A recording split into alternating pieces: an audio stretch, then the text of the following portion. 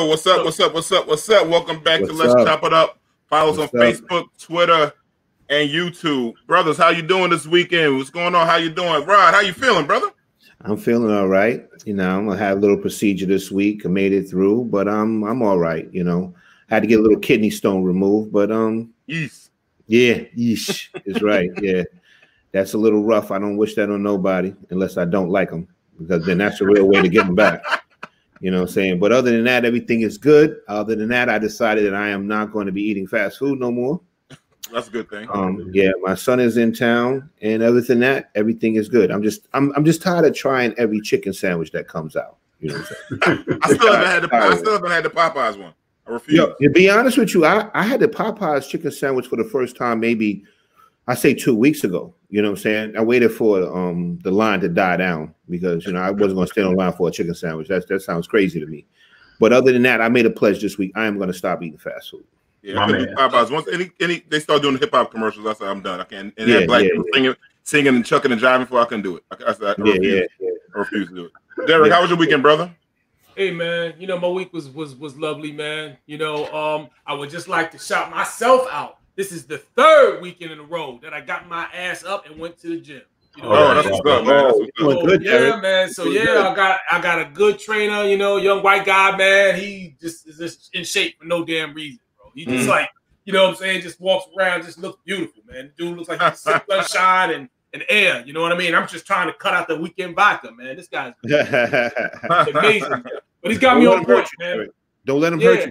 Derik, all right? yeah, I'm feeling it though, man. I'm feeling Oh, yeah. it. But he's Don't yeah, yeah, yeah. It's good. It's good work, man. It's good work. what's up. What's, what's up? I'm My brother Kelvin, how was your week, man? Yo, it's crazy. It's kind of like Derik's. The difference is this is the third month in a row I haven't been to the gym. So, um, so we, we we got you know similar goals, just different directions. But um, yo, I just you know I realized I need I need a nap. I haven't had a nap since I was little, and I'm just the brother just burned out. You know what I'm saying? But um, other than that, everything is good. I'll say this: I had a death in the family last week. Went to a funeral. And so I came up with this idea. All the elders in my family, uh, this August, I decided uh, get my cousins together. We're gonna do something to honor all of them now. Just everybody that's above 70 plus, 75 plus, just get them all together and thank them and do something for them right now. Tell them that we love them, give them the flowers right now. So that's what's going on in my life. And, um, you know, I'm excited uh, for another episode of Let's Chop It Up because I look forward to that every single week. Yeah, man. I'm glad you're doing it because my family, you have a family reunion every year, and this is the second year we're not going to be able to do it. But we're thinking about trying to get some of the people in a certain region together to Yep. celebrate. You know, like our, our elders are leaving us and stuff like that. But um, I had an interesting guy. So I had verti- vertigo for the first time. Whoever had vertigo, that's the worst shit in the world. Feel like you have an earthquake every day. The thing what vertigo reminded me of with the, when I was in college, I smoked some bad weed with this girl we call Lady Heroin, and actually, I mean, me and my man PC, I ain't gonna say his real name, We had us tripping. That was the last. So I never want to see Lady Heroin again. I never want to witness vertigo again. in my I'm life. just tripping off. that You just chilling with somebody named Lady Heroin, bro. Yeah, yeah, yeah, yeah. decisions. I gave it a name. I gave it a name. But you, you wasn't doing heroin though. No, no, no, no. This is a Oh. long time ago. Long time. ago. Long, long, long Long, time. long time. ago. Long. Long time ago. Yeah. But uh, But this this week, you know, uh, it was uh, uh for those they was uh on the chopping block. We have this. Yeah, let's go ahead. We on the chopping block. It's, it was St. Patrick's Day, and and then I, I wonder how do you guys feel about people, black people celebrating St. Patrick's Day and Cinco de Mayo, Cinco de Mayo. Sorry, uh, how do you guys feel about that? I think when none of them celebrate any of our holidays.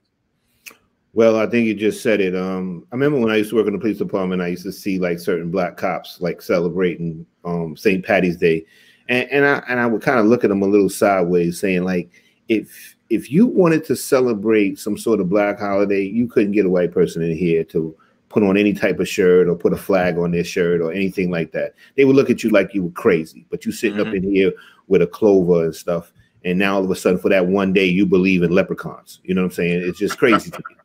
You know, it's just I don't I don't know. I mean, I never celebrated St. Patrick's Day in my life, and I never will. You know what I mean? It has, it has nothing to do with me. St.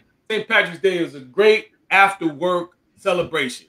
You know what I'm saying? Like you know, I know why you're saying that. Hey man, you know, listen, let me tell you something. Happy hour is lit on St. Patrick's Day. You know, so I'm, I'm gonna let, I'm, I'm gonna need you to stop talking about them nice people, right? You know what I mean? Because go on in there, Yeah. enjoy yourself, something, man. You know. So if, if, if they get rid of happy, if they get rid of happy hour, Derik, you you you coming back over to me? look, look, happy hour. Listen, brother, th- that's an integral part of St. Patrick's Day, man. That's like taking a tree, Christmas tree out of Christmas, man. I'm telling you. Well, Yeah, you- Go ahead, Kelvin. Go ahead. I'm gonna give my thoughts. you know, first of all, I think people celebrate any excuse to drink day. That's that's pretty much Yes, what it it is. is. But what I it is. do I do understand. I think Rodney's point. Sometimes we need to understand the significance of people's heritage and kind of understanding. Sometimes we don't take that same pride in the things that we celebrate, and the rest of the world doesn't always celebrate with us. We don't really have many days like that. So, you know, I think we need to start being a little more, you know, um, interested and concerned with some of the things that we need to do, just as a community at large. Because if not, sometimes our identity seems to get lost a little bit in other people's cultures and identity. Yeah, my my thing is like if you're going to celebrate a day like that, let's go back. Let's, you know, I'm gonna go back to the essence of, of the history of it. When they ran the when they ran the indigenous black people out of Ireland, Mm. T, T Tua, I'm not pronouncing pronouncing right. TWA. It was short pygmy people. They had a snake. They had a snake crown on their hat. So that's what the reason why they ran. That's why St. Patrick's Day. My thing is you celebrate a day just for drinking. They drink on Christmas. You drink on New Year's. Why don't they celebrate a culture day? They never celebrate anything with, with the culture of, of our people, or anybody else. You know what I'm saying? So they will have a better understanding of us and it would treat us a little different if they celebrate that. I don't need. There's no reason for Americans to get together to drink. They drink for fucking anything nowadays. So that I, I see that as a as, to me as a lame excuse. There's no reason. happy, it's, it's happy hour every fucking day. Yeah, yeah, yeah, You don't need to do it, but damn, you know what I mean? no. Listen, I- I'm gonna tell you. Derik, that was the comeback, Derik. Yeah, you know what I'm saying? You don't need to do it, but damn, I know Derik you know, was something strong. Derik's like, well, you know what I'm saying? Nah, man. I'm gonna Uh, tell you. I'm gonna tell you guys something from working on the police department on those St. Patty's celebration. Those um those drunken stupor day would lead into a lot of violent fights too. Exactly. So they would be they would that's why it would be such a detail even after the um, St. Patty's Day parade because after the parade everybody would flock to the bars Yeah. and then they would have all the cops on standby for the big fights that's going to break out from everybody being drunk. Now, I'm, I'm gonna tell you what I don't like, and I gotta say this. I'm not trying to talk about anybody in particular, but I do not like when certain groups of people or cultures don't particularly care for us, whoever they Mhm. may be, and then to actually do something to honor them, whoever they may be. And that that's something I'm very, very conscious of because I won't spend money with people that don't have regard for me, and I won't celebrate things that represent people that don't have regard for me, whoever they may be. That's the Yeah. response. Amen. Amen, Kelvin. Yeah. And it, No argument out of that, man. yeah, no argument so from that. you know, you know? but that's my thing. I, I, I'm, I'm, I would never celebrate St. Patrick. Irish, um, anybody celebrate your own culture. I'm happy. go All right, I'm just keeping it I, I can't hold this no more. I'm just be honest with you. I don't order food from the Chinese restaurants no more because when I was back in the day working in the youth ministry, the Chinese restaurants in the black community never support anything that Correct. the kids do ever. You Correct. never And I, sponsor a basketball team. You never sponsor a football team. The Rochdale Rifles, nobody. And so as Hey. a result, all these men, because I told the people, I'm like, I never see anybody Chinese come in here and order anything. And Yeah. all these people. So I'm I'm like, um, yo, and Kelvin, I, and I was going to save that for later. And I remember when you and I talked about this a long time ago. But I'm, a, I'm, a, I'm gonna bring up this point again later on in, in the show in a few, in a few other segments. So recently, uh, I don't know if you guys saw in the news.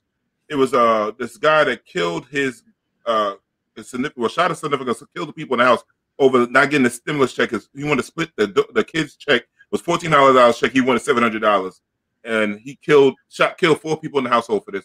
What are you guys' thoughts on that? And did you see it? Oh yeah, yeah, I heard about it. Um, um it's crazy because I think he killed four people, three people, three adults, and a seven-year-old. Yeah. Yep. Well, Yeah, did he he kill the? did kill. No, he didn't kill the seven-year-old. He didn't. No, kill he the no, he, killed, he killed a child, but he got he kept he's kept his child alive. His his child, his child was six months old, and, Right, but he right. killed another seven-year-old in the He house. killed the seven-year-old. Wow. Yeah, yeah. Um, but that, I don't know, man. Like when I hear things like that, the first thing I think is like mental illness or like a drug problem. You know what I'm saying? Because that's pretty freaking extreme over a stim a fourteen hundred dollar stimulus check. You know what I mean? Ah, man, I just When you hate break it down, it's only seven hundred dollars. Yeah, well, You wanna yeah, when have- break it down. yeah, Well, yeah, you know, that's that's a that's a tough story. I I don't know what his background is, but I mean, God, It was a damn. history. It showed that she had a history of her complaining about this dude, uh, scared of him having a gun, and people knew that he had a gun and threats and stuff like that. So he knew this dude was not on. No, his his driveway didn't lead to the street. Yeah, yeah, yeah, yeah. yeah. That's what I say. So, so usually those type of stories, there's some sort of mental illness involved in that type of stuff. But then when you but then when you add to that, like um, just just a, a regular domestic stressor, which is money. You know what I mean? Like, you know, when you we realize that the number one killer of relationships is money. You know, so and the number one, and when you think of people who uh when you think of domestic uh violence or any kind of situation like that, is you know, it's always money related, you know. So yeah. it's you know, so it's, it's it's I wonder how much of that, and you already have a guy who already was on tilt, and then you gave him some ammo on top of that, you know what I mean? Maybe it just was was a little extra, you know, it just pushed him right on over the edge, you know. So it's, it's but you you know what? I think we gotta also we have to start looking at the signs early on. And I'm talking about coming into relationships and dealing with people because what I'm noticing is a lot of people overlook the red flags early on. And this stuff doesn't always just show up late. You right. know what I mean? You know, there are people that will tell you there's a history, there's a pattern, even in getting to know somebody. So, first of all, I think we need to really try to get to know people um, before we engage in relationship with them. We don't do that as much. But yes, Rodney, the person is definitely mentally ill and there are certain things that I feel are just way even beyond that. Some stuff is just evil. It's just evil. It's just no other explanation for it. I'm sorry because it's, it's way past psychological damage to me. You know? But people will yeah. kill over money. We know this. People will kill over money. I'm writing. How many domestic violence situations did you see that were around centered around money? You know, I'm gonna I'm gonna say I'm gonna say Derik, you have a point. There's a, a lot of them are over money, and usually when you see a lot of domestic violence, sometimes alcohol is involved as well too. Mm. You know what I'm saying? But a lot of the times in marriages and relationships, lots of times it's, it is over money. Derik is definitely definitely has a point there. But at least some people will go for the the long game. Like what you yeah. in for? I'm in. I'm, I'm in for the rest of my life over seven hundred dollars. Somebody from being yeah. rich. Let me let me add to it. Let me add this. It's it's lots of domestic violence and domestic issues that have to do with money is over irresponsible spending of money. You know what I mean? Putting themselves in in situations that they shouldn't have or they could have avoided if they had actually thought it out first. You know what I'm saying? Right, right. Yeah, yeah. Well, you're gonna have a long time. I hope he have seven hundred dollars. Somebody put seven hundred dollars on his books while he's in jail. Yeah, he so. gonna, he gonna, he, gonna, he ain't coming home. No, he ain't coming home. He ain't coming home. No, he ain't so, coming home. So the, we had a tragedy in uh in down in Atlanta, Georgia this week. Um, a white guy came inside, started shooting up people in the different um, massage parlors across the Atlanta area and he claimed that he uh the sheriff said uh, he had a having a bad day. So thoughts, gentlemen. Wait, wait, before we guys let's start, I want to apologize you to D because we talked about this earlier this week, and I thought that it was a statement that the uh, perpetrator had made. But no, it, no. yeah, you were correct. So I just want to apologize and just say you was on That's okay. earlier. But, first, yeah. but go, oh, ahead, sorry, go, sorry, go ahead. First of all, let me say this. Uh, as one of my friends just reminded me about this tragedy that's going on. So I want to retract the whole Chinese food statement right now, first of all, because I think this there's a lot of uh, backlash that's going on in the Asian community, and I don't want any community to feel um, that they're not being taken seriously or they're being discriminated against. Because I certainly don't do that, although I still, you know, yeah, conscious of where I spend money at. But I want to say this: it's just a tragedy, and again, I say it, it's just evil. It's evil just to do that. with It, right now, I think we're seeing epic proportions of mental illness. I think we're seeing people lose it in different ways, and I think it shows just how fragile we are as a society. Um, one of the things that I'm very conscious of is not making, um, you know, either materials or status or position some type of God. I mean, we come from a people that have had to do without we've come from a people that have had to go through some things. You know, this man had all types of excuses about why he did it, and then law enforcement has kind of painted this picture and give the man a soft landing. So what has set the Asian community off is this fact that it was, you know, summarily dismissed as just a bad day. Although he's not the one that, um, the officer's not the one that said it. They're quoting him. The way it's painted you know, no, the officer said never, it. The, the, officer said. Oh, so it was the officer's statement. Yeah, that's what I was yeah, just. The officer, yeah, yeah, yeah. The officer, the officer statement. These, people are never demonized for what they do with yeah. other cultures. Yeah, I got and you. The, and the thing is, like, you know, how many black young men have bad days, and they don't get the they don't get the cops. I had a bad so, I had a bad day yesterday. Had, you know what I'm saying? So uh, that's what I think the bullshit comes in when it, when white men always get an excuse to fuck up. And I'm tired of, and I think everybody's tired of shit. And I think that's why the Asian community got upset but I'm gonna jump on, on the agency community and something else about why black folks ain't standing for them. A lot of black folks are standing, but that's another subject, and we're going to talk about that tonight. But the thing is, why do white men always have a reason? Why do they always have to have mental illness? Why they can shoot up Vegas? Why they could go shoot up a club? And it's always to come down to they have mental illness. That's the bullshit that we that our community never sees. That we can get like, oh, young black men when he went to rob some some groceries and he had mental illness. And so that's why you got to make sure that you have a way of controlling your own media, mm-hmm. and that's what we don't do. We, exactly we don't do that. So, so the people that frame the situations, those the ones that are running it, and that's it. And no mm-hmm. one is going to make their community look bad if they don't have to. So they're they're controlling the board, and we have to do something to make sure that when we have an outlet or voice, that we can get it out there. Yep. You know. And you know what the sad thing is also that a white man can go in, buy a gun the same day and kill the people, but people can't register to vote the same day. Yeah, buy a gun, yeah. buy a gun in some states at 18 years old on your yeah. 18th birthday. And then go kill up some people, but you can't go vote when you turn 18 that same day. They trying to stop. Just be real. And get arrested. The, black experience, the black yeah. experience is looking kind of gray on this show today. I can't run. It's, it's looking, looking kind of bad. We don't know where I'm but no, but also another thing that's been trending on social media since we're on the top of Atlanta.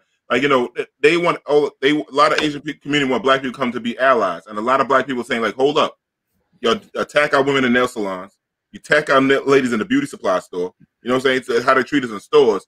So a lot of people's like, hey, this is on y'all. Well, what's so, happening? What's happening to them? And like you said, they don't support. They don't support. Like we, me and Chicken, we used to do a give back to community day. We just asked for a pan of rice. It was like, no, yeah, yeah, yeah. What's happening to them now? We've been living for a long time. Welcome to yeah. our world. Welcome yeah. to our world. You should have been at the cookout. You yeah. supported the cookout. Yeah, you know. so I understand. I'm not saying it's right, and I yeah. support. And I want nobody getting harmed and like that. But I do understand those folks that have that voice where they saying like, "Oh well," I understand it. Mm. I think, and I agree with it. I understand.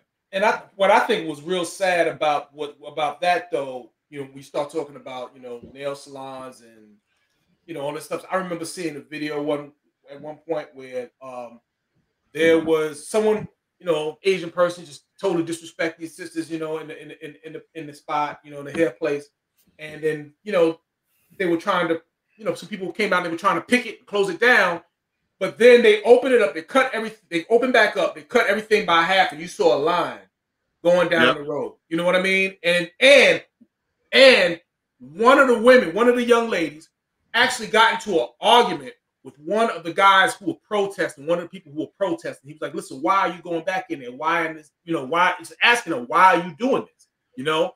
And she just went off. He couldn't keep her, you know, just on just focus. Y'all trying to push me back to that argument we had about the business and ownership. That's what y'all trying to do. I see exactly what y'all trying to do. Y'all trying to take, y'all trying to take me right there. Y'all making my argument. So listen, uh, in recent weeks, this week, I know um, Little Mama it's got a little a heated battle on social media. People trying to come at her.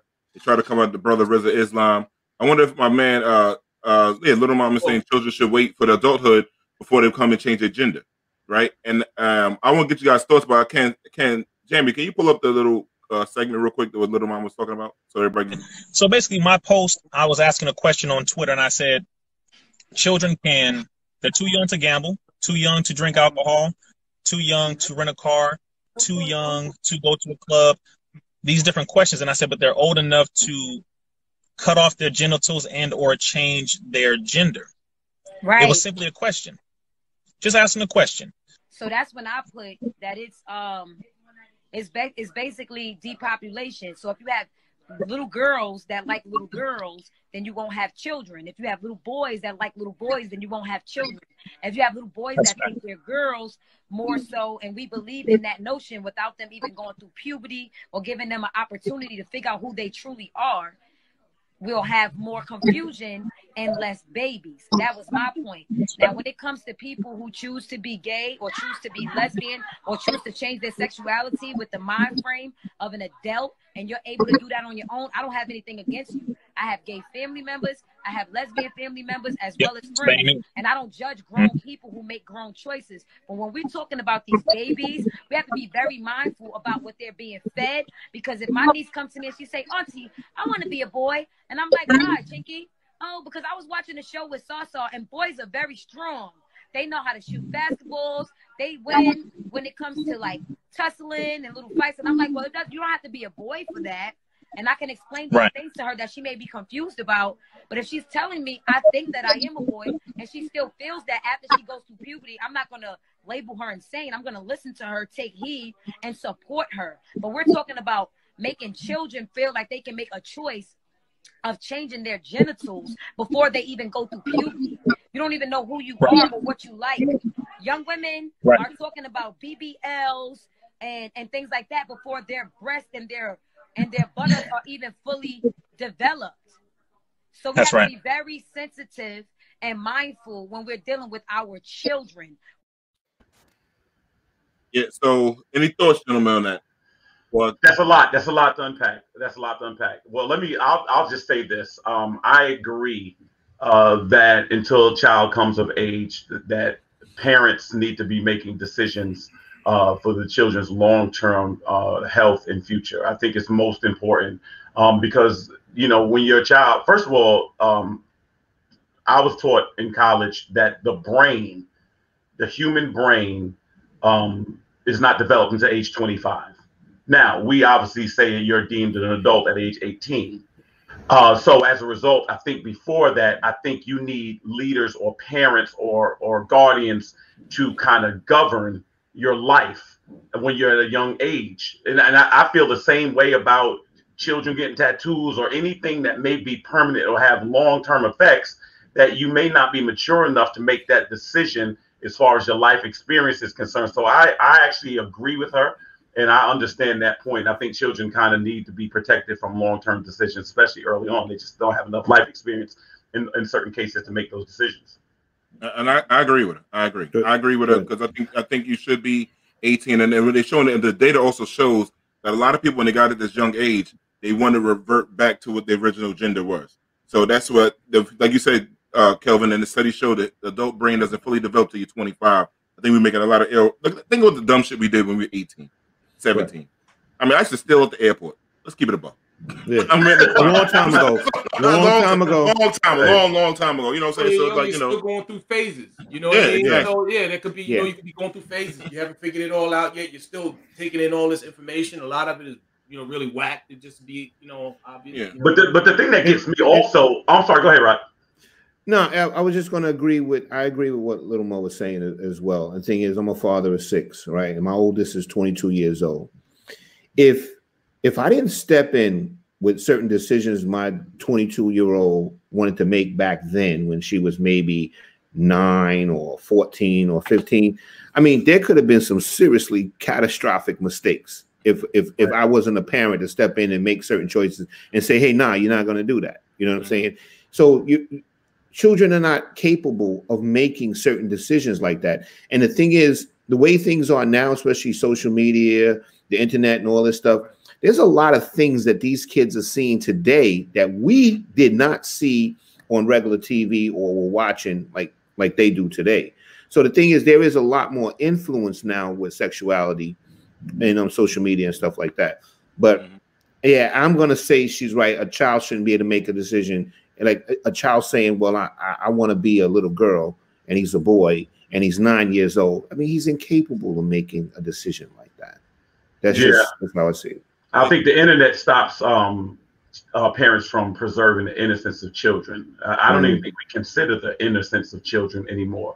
Um, Yeah. Children shouldn't have to deal with adult issues now. So the things that we learned at 18, they're understanding at eight now, and that's just Yeah. unfair. I mean, can anybody watch Sesame Street these days?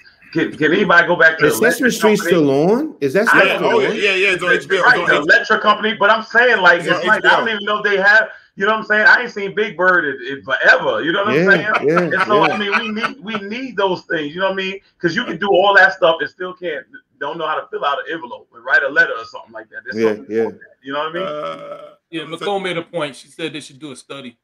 You know, yeah, they people should. that want to revert back. You know, I think Yeah, and they, they have studies. They have some studies out there. I wish I'd have pulled it up. I should have I should have did my research today and had the study from which um when they showed the studies that come, where they come from when they, they people wanted to revert back. You know, just think like Yeah, like we said. And I'm. I'm gonna say like all the brothers. We care what you do once you turn 18. Like you go military or stuff like that. And the, want people to live in their happiness. But I think as a child, I think we should just wait a little bit longer. And I think we should just wait when they turn to Yeah. adult. They can Yeah, decision. Miss Lewis brought up a good point too. Today, parenting is different as well. Parents are trying to be their kids' friends instead of being their kids' parent. Right. But you know, like in my house, I don't care about being popular. They'll tell you in here, I, I get it popping in here. They get out of line, I get it popping, and that's it.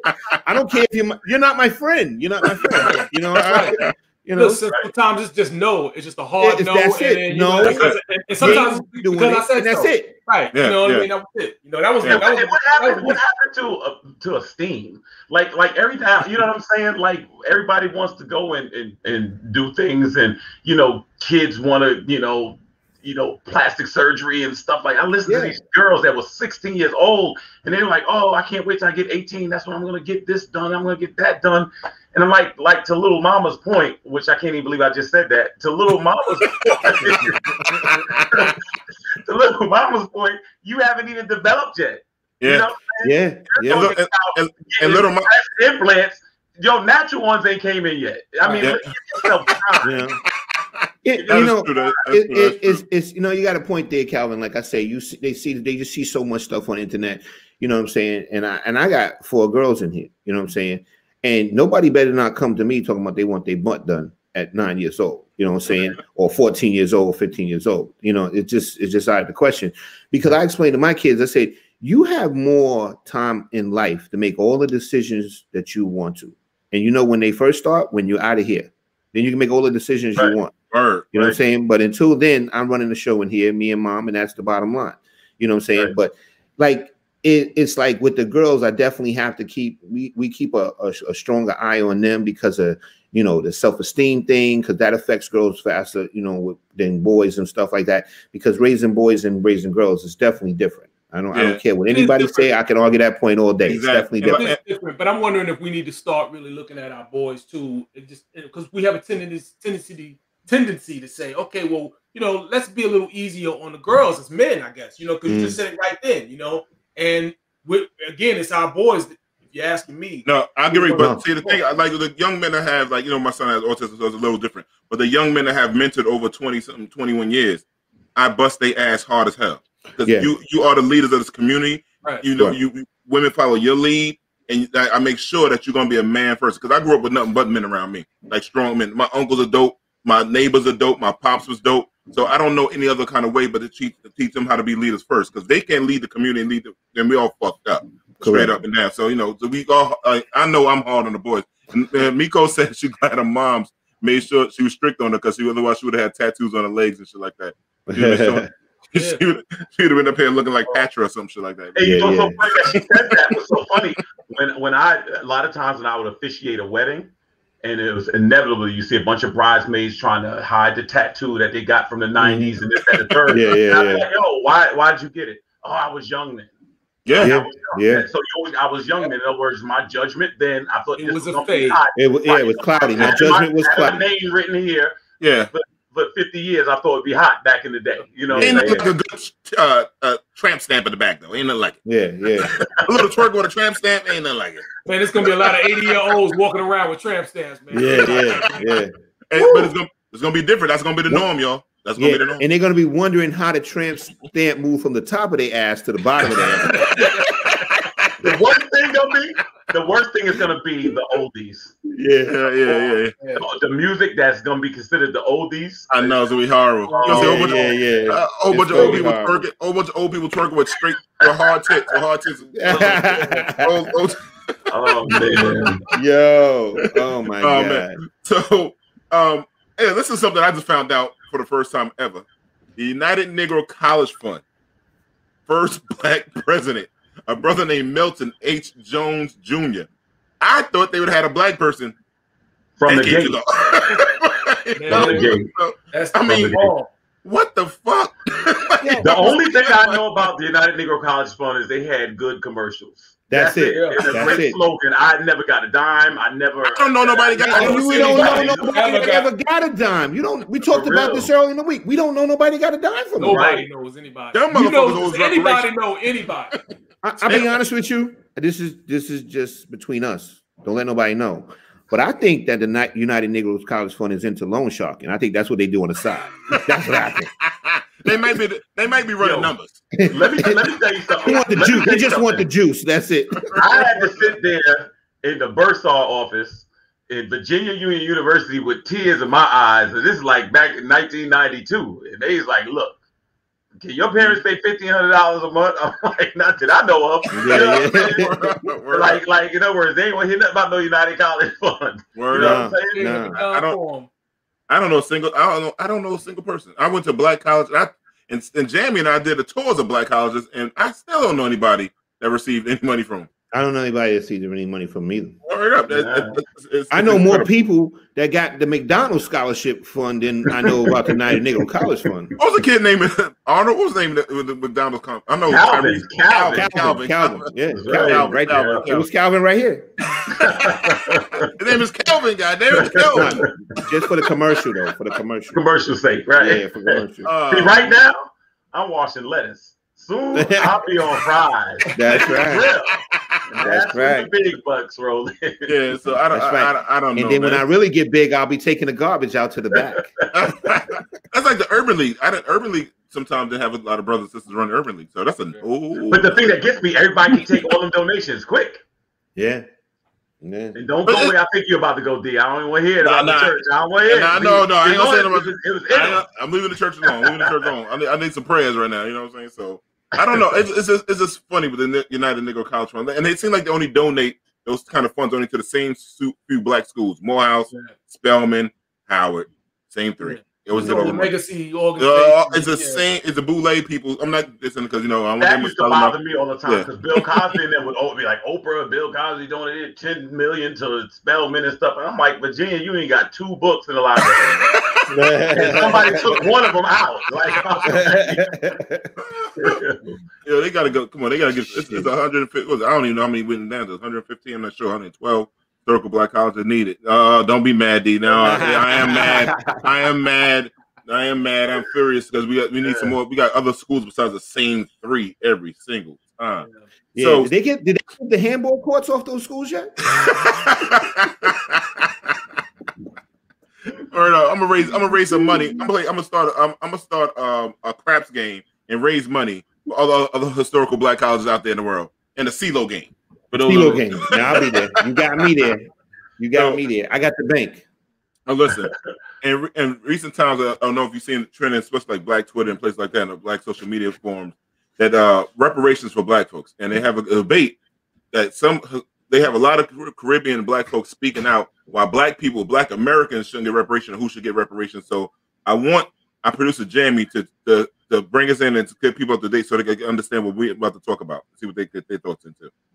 Ancestors come from the Caribbean and there were Okay, slaves in the so then maybe it Caribbean and we okay, we didn't qualify for, this, we, the we, American we, reparations. well, here's the challenge. There are so many difficulties with trying to enact reparations, in part because the question is who gets them. Uh, potentially, I could fall into that category. I honestly have called a pipe dream in the past, and I think that's what it is. Well, it would be nice if there was an elegant, simple solution to all sorts of complicated problems. You're not actually talking about how to fix those problems if you're only talking about er- reparations, if we're only debating how we're going to parcel out responsibility for something that happened more than a century ago. And we're probably never going to do this. It's not clear to me why we're, we're pursuing this thing. is it fair that that n- there's no kind of there's no reparations, no restitution, nothing? Should the Irish get reparations, by the way? Irish need not, need not apply signs when they came here during the progressive era. I mean, how far do we want to take this down? Are we- acknowledging that there are ugly spots in history? Because 60% of the world would be entitled to slave reparations if you wanted to play that game. Well, here's a fact. Slavery ended 154 years ago. It's been a long, long time since we had slavery in this country. Uh, and you have people like my family. I'm black, but my family came to the United States in 1962. My parents are from Costa Rica. Do I get a check? I did a couple of essay contests that I actually won. And I won like NAACP ACT-SO award for this essay and something else. I can't remember another, like I ended up winning money. And the essay was, um, do you think black people should have repara- should get repara- reparations? And I was like, no, you didn't work for it. Why are you so against reparations? Valerie, it's a matter of a waste of time. We've got so much to do. And yet you have people who invest so much energy and attention on what I consider to be a dead end idea, a dead end movement. If we were to pay reparations today, we would only divide the country further. We would insult many black Americans by putting a price on the suffering of their ancestors. Yeah.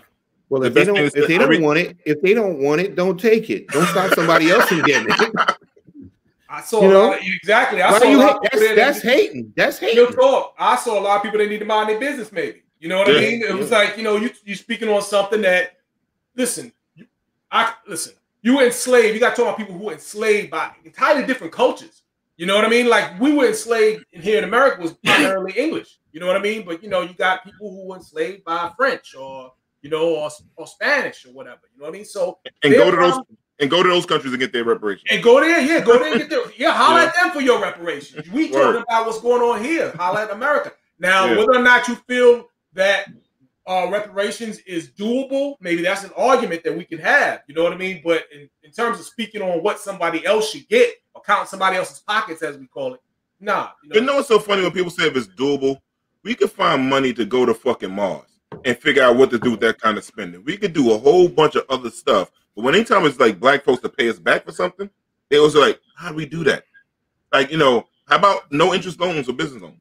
You know, Yeah. how about like, you know what I'm saying? Like, how about fair housing that you're discriminators for so many decades to get that shit better? You know what I'm saying? Like it's it's so many ways you could pay back people. Like my sister and I only the fifth generation.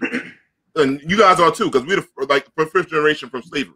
Like most of us, most like, like, most of us are born uh probably just after. I don't know, Rod, you're the oldest one out of us. I think you was Yeah, born see, maybe. you didn't have to. You didn't have to say that. You didn't have to say that. You ain't have to say that, D. That wasn't nice. I know where it came off was, was I know, I know. Oh, But, Rod, what year were you born? Like 68? Come on, 68. 68. So Rod didn't have full civil rights either. Well, None. I mean, Rod, I mean, he's the first Oh, one. oh, He didn't have. He, didn't, Fifth he, was born, he was not born with full civil rights. Yeah, Nikki. I was me, Kelvin, and I think Derik right was born with. We was the first generation born with civil rights. My sister, who's sitting right over here near me, was born with no civil rights. Mm. People got to think about that shit. You know what I'm saying? Well, so like, I think you know, I think I think one of the biggest things is this. I think you can start here maybe. If you don't have a flag or a homeland to return to, we can start there. And so the benefit that the Caribbean community has, a lot of them still have the association with where they came from, and we don't because we don't know where we came from. And so the people that were the here working for all these years, picking cotton and, and brought into the deep south and things like that, now with the analytics and now with, with DNA testing, they can kind of figure out, uh, kind of pinpoint where people have come from. And I think they may need to start there. Uh, the, the reason I have a problem with um, the clips you just played, because it seems so dismissive. It just seems um, that people are not even concerned about kind of the collateral damage that has been caused uh, economically to to you know just growing up seeing the way you know uh, Mississippi and Alabama and all these places look in the poverty, and you can actually trace that now to the projects in New York and in Chicago and in Detroit and things. I think something has to be done because there's no way to level the playing field. At least try to tip it so people can get somewhat of an opportunity. And that's the issue. So I think for people to just be dismissive, because I think what happens is people want to give the impression that when you want reparations, that you're lazy. And I think that narrative is really, really unfair and is inconsistent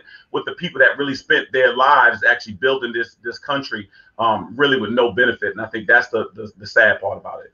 Mm-hmm. Well, Yeah. enslaving another race to do some work for you, that sounds lazy to me. Yeah, you know? right. Of course. So Exactly. for them to say that somebody wants repar, basically, we just want back pay. We want back pay for Exactly what what we did. You know what I'm saying? It's the American. It's the American way. Just get that back pay going. Every everybody But- else, the Japanese got con- from concentration, they got reparations, right? The Yeah. Jews still get reparations, right? You know what I'm saying? So it's like, why is it our time? When Candace Owens, she was pissing me off. I mean, sometimes she could be, I, eh, but nah, she pisses me off. No, don't talking about no the credit. Irish, I don't give them no credit. The Yeah, Irish, no the Irish wasn't brought over here to work the fields. You know what I'm saying? Like they didn't have to like when they came with had creativity on making uh, devices to help them like to work faster. They didn't get credit for that. It's like like the fuck out of here. Like yo, she can eat a dick. Well, if I care about Whoa, like, whoa. like uh, no, no, bro, bro. Hey, listen, we on sense. so, like, like, like, fuck that. Like you know, like Yeah, hey, yeah. I- ain't no. No, but think about it. Yeah, but if you sue, like if you're going to sue someone, why would you know? Like you, what we're talking about is us suing. You know what I mean? If someone you're trying to be it's reparations. You're trying to be repaired. You're trying to be made whole. You know, so that means that you have to go through a process. You know what I mean? And if we were to be able to sue, this is who we would sue. We would sue the American government or whoever it is. For someone else to be speaking on, you know, that process when it has absolutely nothing to do with them. You know what I mean? The person did not. The person that we're suing, all right, and we have a problem with, had nothing to do with your history, or very little to do with your history. Mm-hmm. You know what I mean? So we're talking about something that's very, very personal and that has to do with us directly here. So I don't even know how you get the chance to speak. Well, well, I this is the love, thing. all love. Now listen, all love to, to, to, my people over there. You know what I mean? But it, it's not about that. But this is this is something. This is something that is that you're out of pocket. You know, and that's Well, well, well, see, to me, Derik, this is the way I, I look at it. So, in, in cases like this, um, people will do to you what they can do if there's no repercussion or recourse. So, the dollar that we control, if you want to pressure some of these corporations and things like that, which I think is the way to go, then we need to pull back from it. That's the that's the issue, and, and people I don't think are willing to sacrifice. So, and if, if you want something, if you want demands met, then you're going to have to sacrifice something and you're going to have to pull back. And I think we we don't do that. We still spend money with everybody. We still keep Yeah. giving and giving and Yeah. giving. And if we could just say, you know what, forget it. These designer things and name brand stuff and all the stuff that we make hot and fashionable, forget all of it. We're gonna hold our money and tighten the purse strings. Then people will have to listen. If they don't, then it all just be as noise and people continue to go like they've done. We get ignored because there's really there's no recourse or repercussion. There's no repercussion to offending us. Nothing. Mm. Right. We, no one loves America more than black people, man, here in America. You know, when you Yeah, stop thinking about everything that we've done, everything that we've given up for this place, you know what I mean? Just just to keep it as is. Like we don't even want to upset the table. We just want a better seat. Can I please have a seat at the table? And can I can you someone please pass the whatever? You know what I mean? We just just basic stuff. And and, and it's like, you know, it's it's no one loves it more than us, man. No one I've never, I've never in America, I've never felt like an owner. I felt like a renter. I really Yeah, do. no, I, I- I because was, I wasn't raised to be patriotic. And my father and my grandfather served. I just Right. wasn't raised to be patriotic. I know I don't own anything with the flag on it because I just never felt that it represented me. I know even with the um, standing up, saying the Pledge of Allegiance, I, you know, that part about liberty and justice for all. I'm like, you know, Yo, that's, that's book. And, I'm and my, like- yo, my sister schooled me to that game years ago, and she when I'm I think we went to a Knicks game, and she was first like sit your ass, Knicks are the Mets, like sit your ass down. And I, and I- I- so I was like, listen, she listen, my sister kept, kept me woke long time ago, woke me up from a nap, and I've been up. I said- I will say we need Yeah. to probably be more pra- pragmatic though about about how we how, about how we do things in regard to our patriotism and everything. You know, I think now's the time. You know, maybe we need to all buy in and just use this. You know, Yeah. whatever. Yeah, you know what I mean. So Yo, yo, it's, it's empowering to hold that dollar. Oh man, it's so Yeah. empowering. It, it, it is. It, it is. Out of a It is. store or You can cripple. You can cripple things if we hold on to that dollar and not give our dollar. But we've had this conversation many times before, guys, about how America has designed the African American race to be a consumer. Right. But I want to speak back on what how I feel about the um the video. Like me, I think it made me think a little bit different. Like when I see black people up there, you know, making statements like that, I get suspicious. You know what I'm saying? Because I'm saying, like, what's your angle, dude? Like, what's your angle, sister? Mhm, What's your angle, right. brother? You know what I'm Mhm. saying? Like, what are you getting out of this? Because you got to understand something. And, and you, you, when we watched this last administration, how certain black people were used, used to basically go out and put out certain talking points Right. so that certain parties can say, "Hey, look, black people don't even want reparations. Reparations. We don't want to. We don't want to give it to them. They don't want it. You know what I mean? And that's what they. That's what they do. Because the thing is, like, why you go out your way, sit there and say you want to make a speech about stopping reparations, stopping something that could probably advance a lot of black people. Yeah, You know what I'm saying? That's why I say I look suspicious. Like, what's your angle? What's yeah, your angle? yeah, like somebody said, Uncle Ruckus, and I, you know, I just got out of Facebook jail for saying calling somebody a coon. So I first, my first day out, none of y'all sent me money on my books from Facebook jail. either. So I'm just that. no, no, calling I coon, did. so I- No, D, I sent you some naked books. They on the way. It's my fourth time in Facebook jail. But any, anyway, Cardi B, Megan Thee Stallion, they did a performance at the Grammys uh, Grammys Awards, and people had to speak out. Candace Owens was one of them. Her and Cardi B went back and forth. I don't know if you guys saw that on uh, on Black Twitter there. And um, what are your thoughts with the way the performance? If you guys saw it, I only had to see it. I only had saw it on social media for one thing. And what, what and she's saying like black women could do better. Basically, that's what Candace Owens' point was. And Dr. Boyce Watkins had a few things to chime in on. What are you guys' thoughts? Maybe a broken clock is right. Even a broken clock is right twice a day. Twice a day. Yeah, you know what I Well, mean? So, I. I, I, I think we we are in a really overly sexualized society, right? I mean, it's obvious. What I always felt is this: whatever you know regarding sex, there should be some discretion toward it. And um, the power of music and music video and performance is is so powerful across the board.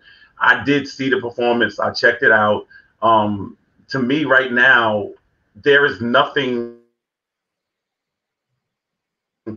uh shocking anymore shocking anymore i don't even think it it you know to, to me i'm desensitized to it i think their bigger issue probably is how it affects kids and i think it's unfortunate because we again we cannot there's nothing that is preserved for kids anymore um i'm not a cardi b fan i know very little about uh megan Thee stallion i don't i'm not a fan of it i'm not a fan of the music i'm not a I, you know when it comes to to um, hip hop. I think for, for years it may be unfortunate. I think they've they've had women go out there and think the only way they could make it is to just be sensuous and sexual, and and that's why I really love the Miseducation album by Lauryn Hill. I wish we had more females that could just spit it like that and and, and tell you something thought provoking. I was not a fan of the performance. Um, and I, at the same time, I wasn't overly critical of it because it's the norm. I mean, it's everywhere. And It's know that- everywhere. So And don't you think when you said that about the Lauryn Hill uh, Calvin, I think it's the balance. Why can't we have the balance? We had sexual records way back. We had the Redd Foxxes. We had the Moms Mabley. We always had those kind of things. We had Just Ice and now everyone he talk about you know, the kind of slick Rick, Toya, yeah. you know, Toya, you know, all that kind of stuff like that. My thing is, why can't we have the balance? Like it- it's a lane for Cardi B. Like when we back in the day, long time ago, kids before you know, they used to have a porno section in the video rental spot.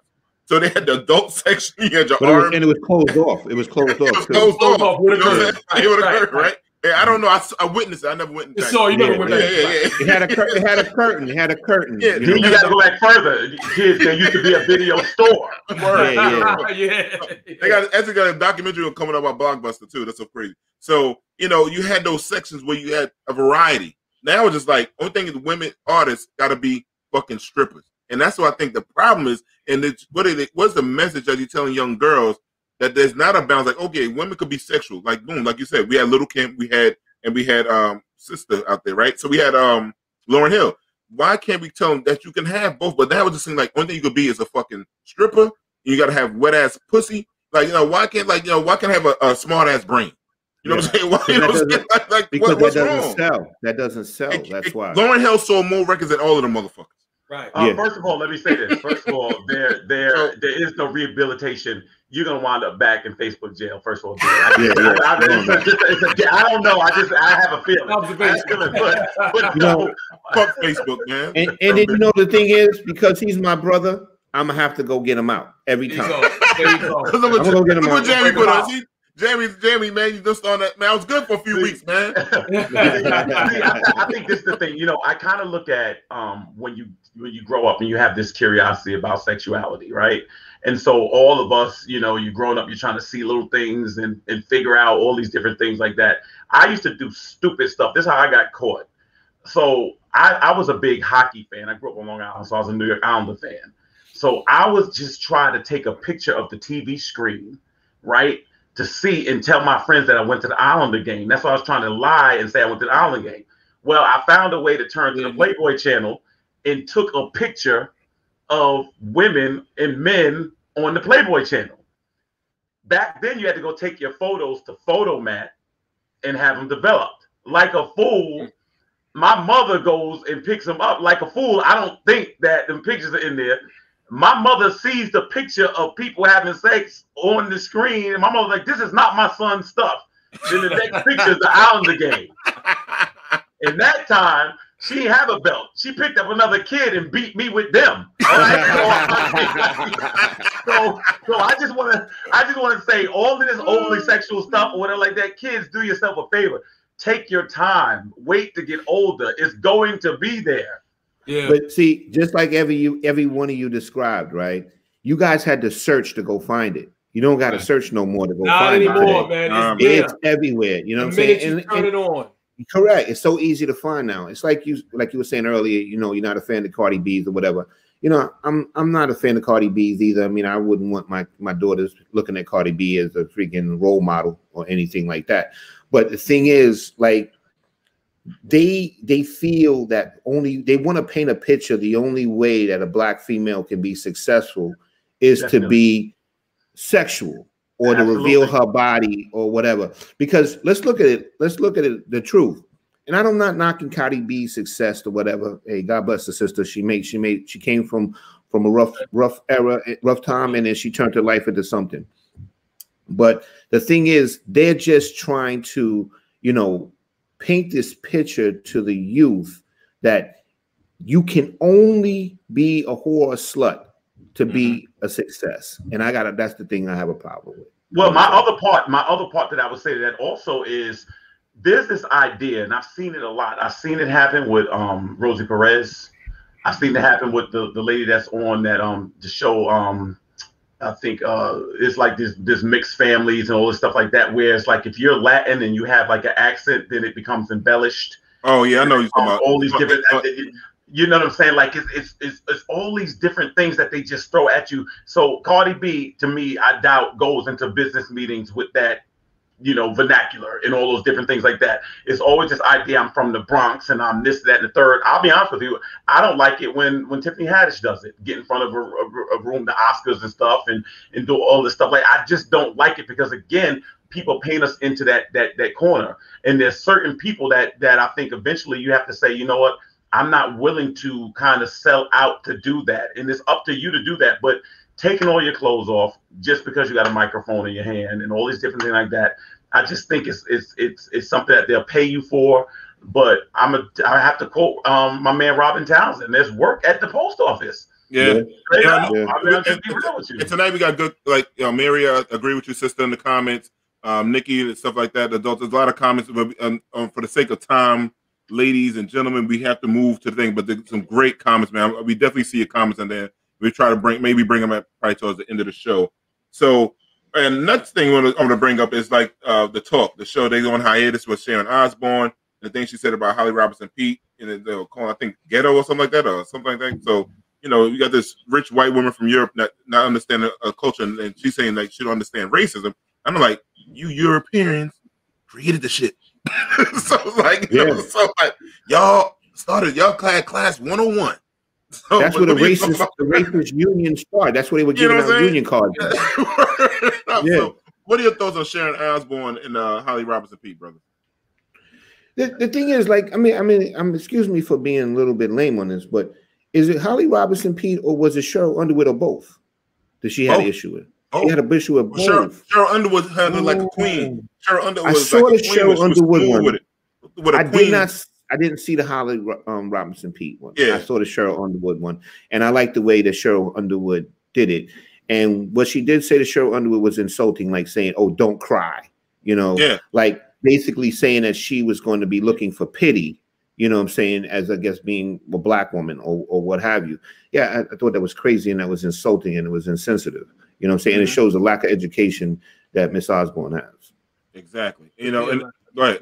If you might Yeah. like, but the thing is, like, you know, white women can always cry in the workplace or anywhere, and everybody comes to the aid. Look at the white boy that shot at people. They, he fucking he got mental, and they come to his aid. Like, you know, white they always get somebody come to the aid. Uh, the white the white boy shot at people in Wisconsin. They come to the aid. Like, she literally was about to do. She she tried to throw it on her like like she became the victim now. Like, no, Yeah. this white dude said some real racist shit and has always been going after this sister when he's going to uh, Meghan Markle, and like and, and sisters came to her aid. And now mm. you white women gonna use the tears, and now instead of the thing is this whole fucked up with the show to me is they put it on hiatus because they they protecting her again. They Right. protecting the Correct. white woman again. Right. Uh, you know what I'm saying? So it's a Correct. protection of her again. Like putting the show on And- hiatus. And like we talked about this earlier the week, if I told you, I bet you if you follow the money, Miss Osbourne makes the most money on that show. So I guarantee you that's why they did a hiatus instead of firing somebody. Exactly. Exactly. Why You know? are the Osbournes still around? That's what I'm trying to figure I, out. I don't know how they still became know how relevant. had- I mean, when I was a kid, Ozzy Osbourne was drinking people blood and spitting in cups bite- at concerts yeah, and he's biting the biting back- the birds' heads heads off off. of bats, Yeah, and yeah. stuff like that. How they became this like big like marketing family, I don't know. But um, again, it's it's it's really just people really do not care about. Our plight, and and people see us less than human. And I, I and again, to my point earlier, you've got to make them feel it. Like you got, and, and the other thing is the real, the view, the talk, the whatever. I just, just just exhausts me. And just I gotta admit, it, to me, it, it seems like it's all the same players, all the same show, man. You know what I yeah, mean? And, and, unfortunately, you know, um, you, you have a you have a situation where, you know, she's gonna she's gonna Osbourne, she's gonna sit around and she's gonna pretend that she's this, you know, like she's this victim, you know, and and, and Nicole. Eh, you know what I mean? Yeah, yeah, Nicole. But you know, she's gonna be this victim. And, but and, victim culture is very big right now. Victim culture yeah, is. is. very, oh, yeah. very big. Yeah, victim, yeah, victim culture and cancel culture are both they run it, it, going, it, exactly. You you know what it reminds me of? It reminds me of in sports. It reminds me of flopping. There's yeah. some no false alignment with sisters, though, man. Yeah, right, right. False Somebody, alignment with sisters under this, you know, this right. whole thing, feminism. So, and it's I'm, yep. You gotta wake up to that, man. And cancel know? culture caught me again at Facebook. Fuck you, Facebook. No, oh,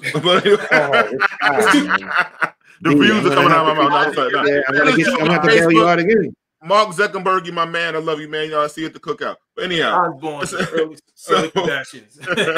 facts, facts. I was um, born to the early Kardashians. Yep. So listen, I don't yeah. know if you guys saw in the Breakfast Club recently.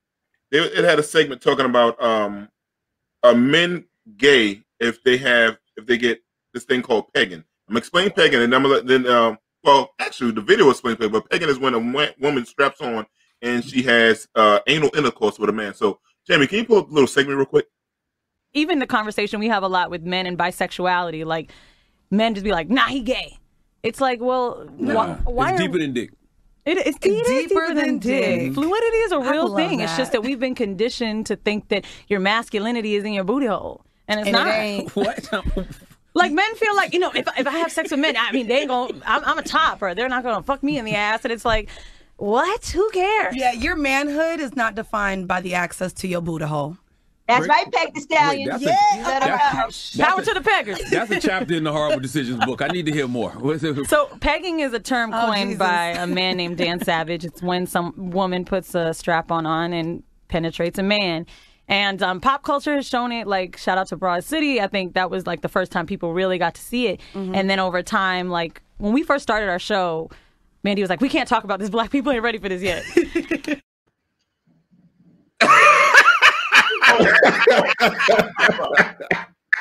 oh, Yo. And we're back.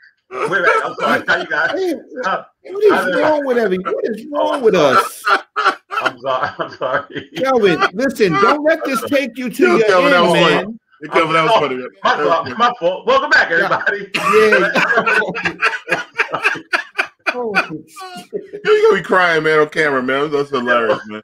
So, where brothers, do we, where do we start with this? Horrible decisions will be out of mm, because horrible decisions be out of control. I used to listen to one of their podcasts until they started getting to this. I was like, nah, I'm, I'm good. this is like, you know, let me let me explain something, right? She said that his ma- their masculinity, your masculinity is not in your booty hole, right? As soon as she gets that booty hole, guess what? She's gonna look at that man differently. His yep. masculinity ain't gonna be there no more. It's gone.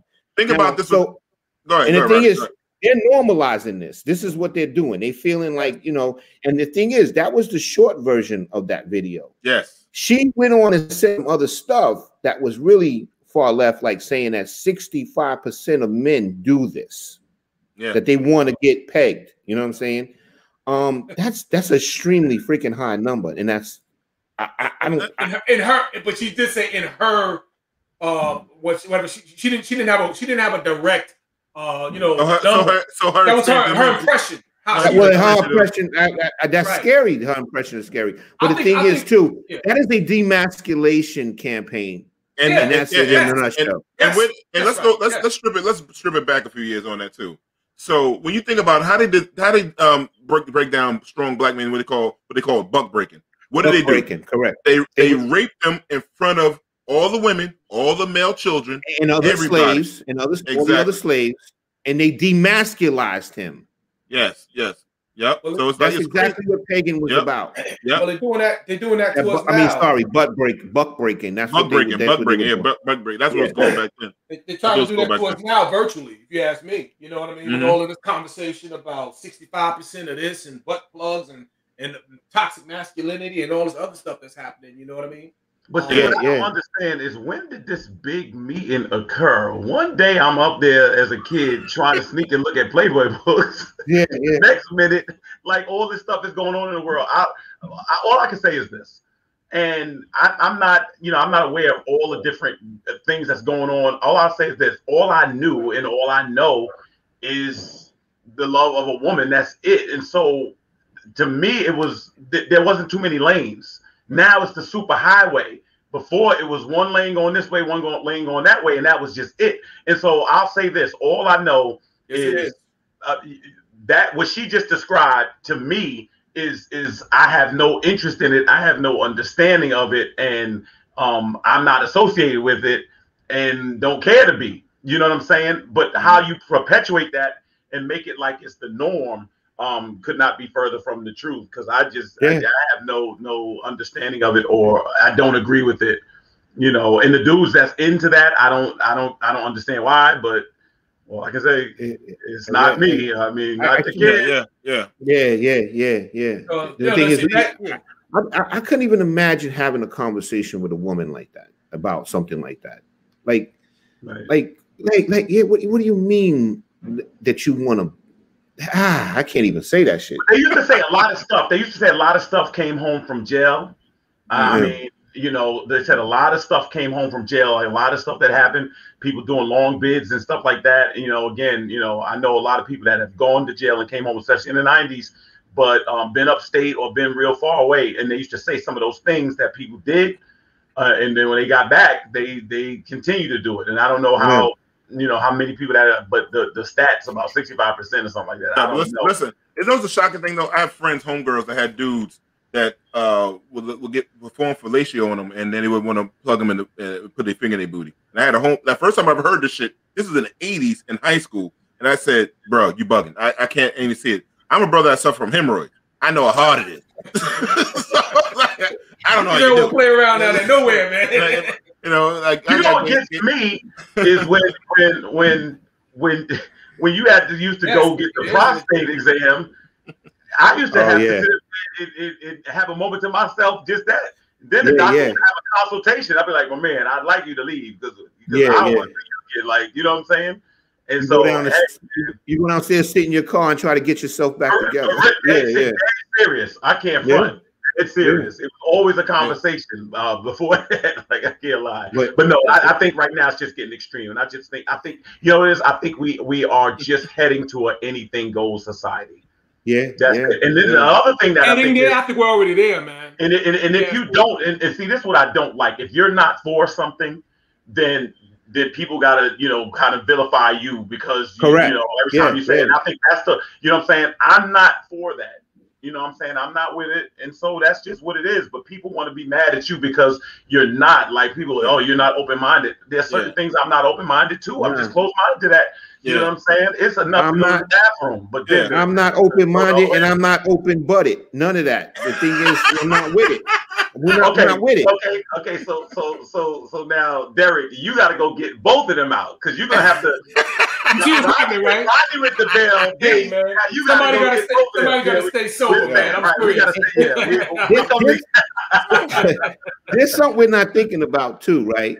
Think about all the guys that used to date those two girls. What does that just reveal by them being on that show? Mm. But yeah, but the thing is, one think thing, about that. one thing I gotta say with them, they never use names. So hopefully, like those, and, and you gotta be a real trusting dude to do that kind of stuff. You know what I'm saying? Yo, With the, the. Like the you have chick to be is real. gonna tell. She's gonna look at you differently. Bro, I- You know what I- I'm saying? I- She's gonna I- I tell. They're telling. They're on. They're on the Breakfast Club, telling that that's what they do to dudes. The night is over. The minute somebody Rod. something like that happens, the night is over. The whole experience is So done. Rob, we might be onto something. What's that? When when they have the the, the Halloween or Christmas Christmas Street parade, we should get uh, open butted t-shirts. I'm like sell them out there. We could get them and sell them. Open butted. Okay, he gonna get the electric chair with face. Like, he But no, I'm just joking. I'm joking. Listen, listen. He We having a little fun. You know, I'm just having a little fun. Just having a fun. You Opinions of the mind do not reflect the opinions. Let's chop it up. Um, And there you have it. But He yo, ain't come out listen, reformed or nothing. But listen, man, before you bring our first uh, next guest on the show, Jamie, take us to commercial, man. Take us anywhere.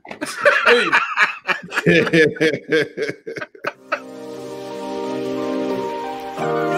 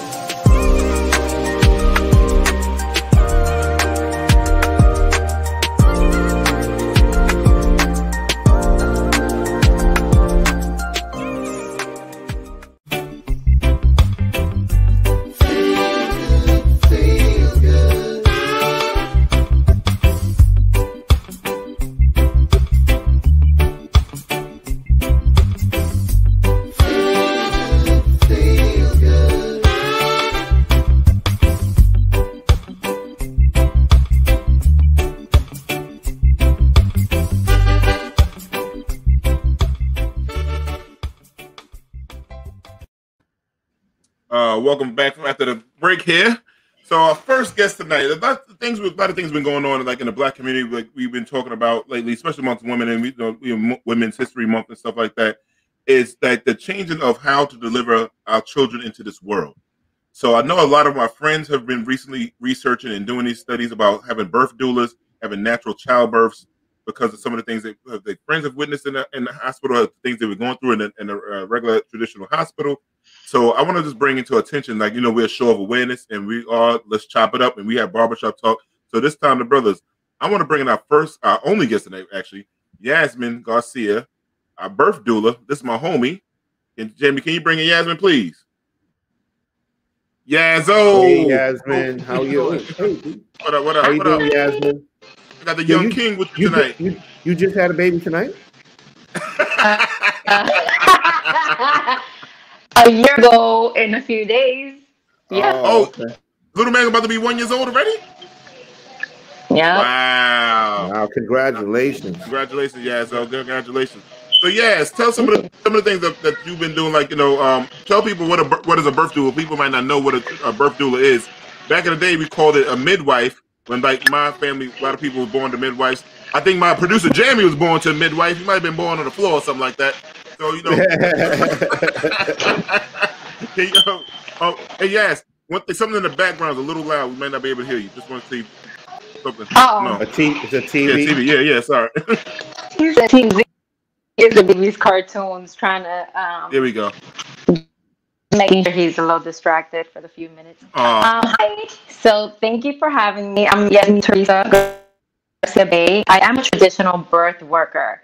Um, we don't really using the word doula anymore in our community okay. because it is no, it's all Gucci. I'm to teach just in case we don't know that, but it's mainly because it is a uh, a Greek word for slave, and they try to switch it for women who serves. But traditionally, birth workers do much Yeah. more than just Yes, yes. Hold on one second. I think the, the headphones are not. They going in now. Can you? Can you might have to get off the headphones. Yeah, that's because so I want people to hear all this good information. I want to hear everything. Yeah, I want to hear everything you got to say.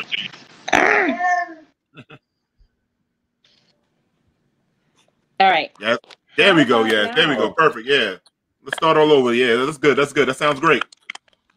Yeah, because it's breaking up a little bit, but um, I think I could still hear you guys. So Yeah, I'm a traditional birth worker, Mhm. and in Greek, um, in in Greek, they they use the word doula. So as traditional birth workers, melanated Moabite people, we've been doing this for the beginning of time, or else none of us would be here.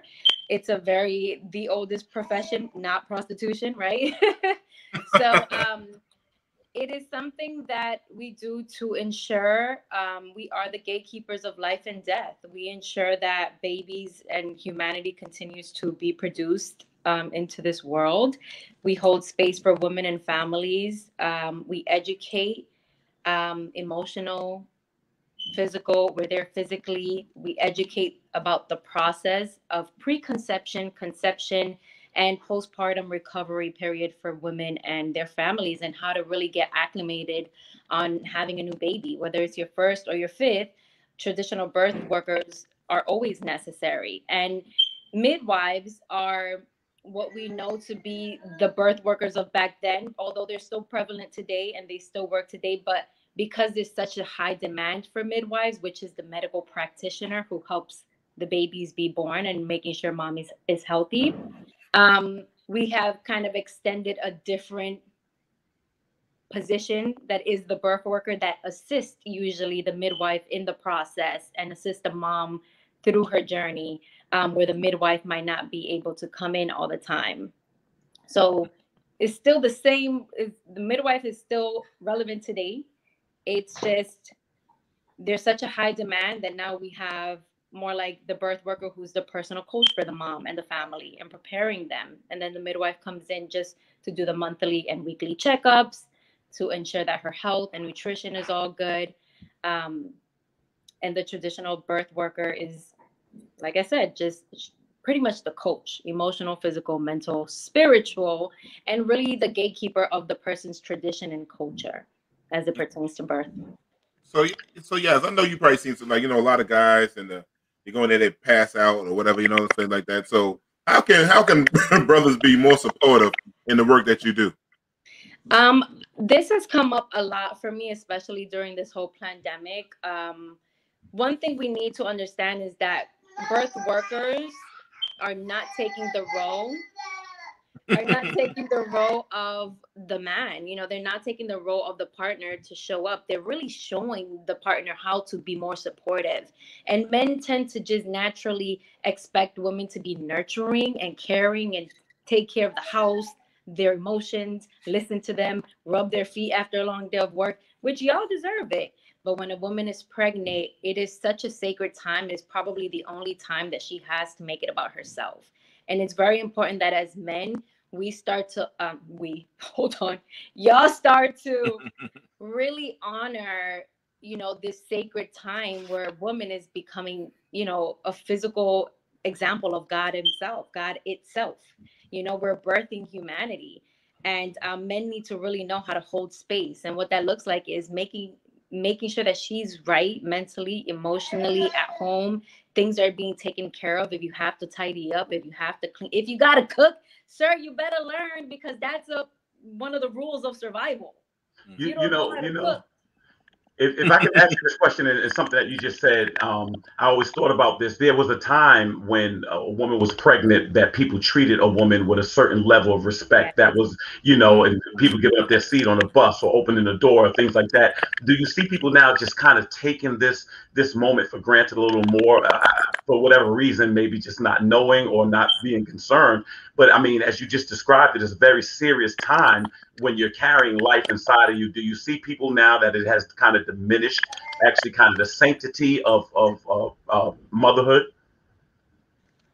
I absolutely see that there's a disregard for women and more so the value of family and understanding that how a woman is treated when she is pregnant that is going to have further implications on her mentally but also your your seed. It's going to have implications on these babies from utero up until they're adults. So if we're really questioning sorry my baby let him do let him do his thing. He's doing his thing, yeah, it's all right. If, all if right. we're really questioning why we have so much unbalanced humans and adults, we really have to consider how they were treated in utero, how their mom was treated while she was pregnant, how she was supported. You know, one of the things that came up recently, I read how um, Ilyasah Shabazz, the daughter of, Mar- of Malcolm X had mentioned that her mom was pregnant with twins um, when the father was uh, murdered, assassinated. And if I remember correctly, one of the stories I heard about the twins, the siblings, and with all due respect to their family, uh, was that they had a lot of issues, you know, mentally and just um, there was a lot of chaos amongst the family as they were, you know, in their adolescence and turning into adults. And I could only imagine what the, stress upon that mama when she was pregnant with two, which is a very magical, you know, calling. Not, you know, pregnancy is magical, but with twins, that is very sacred um, in many traditions. So to know that they struggled later on mentally, it's just a testament of like we need to really be careful.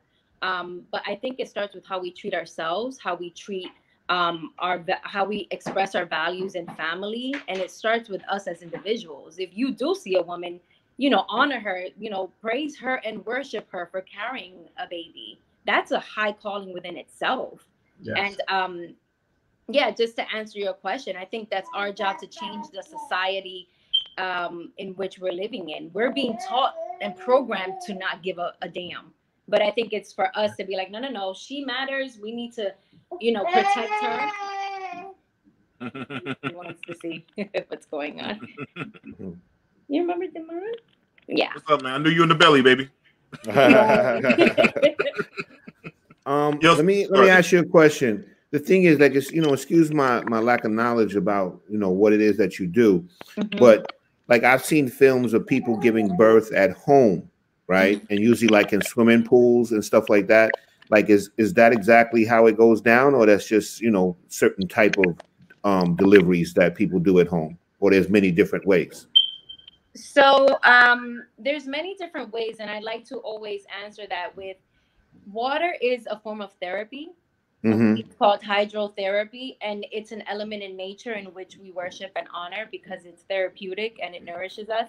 So it's something that's often used as a method of relaxation.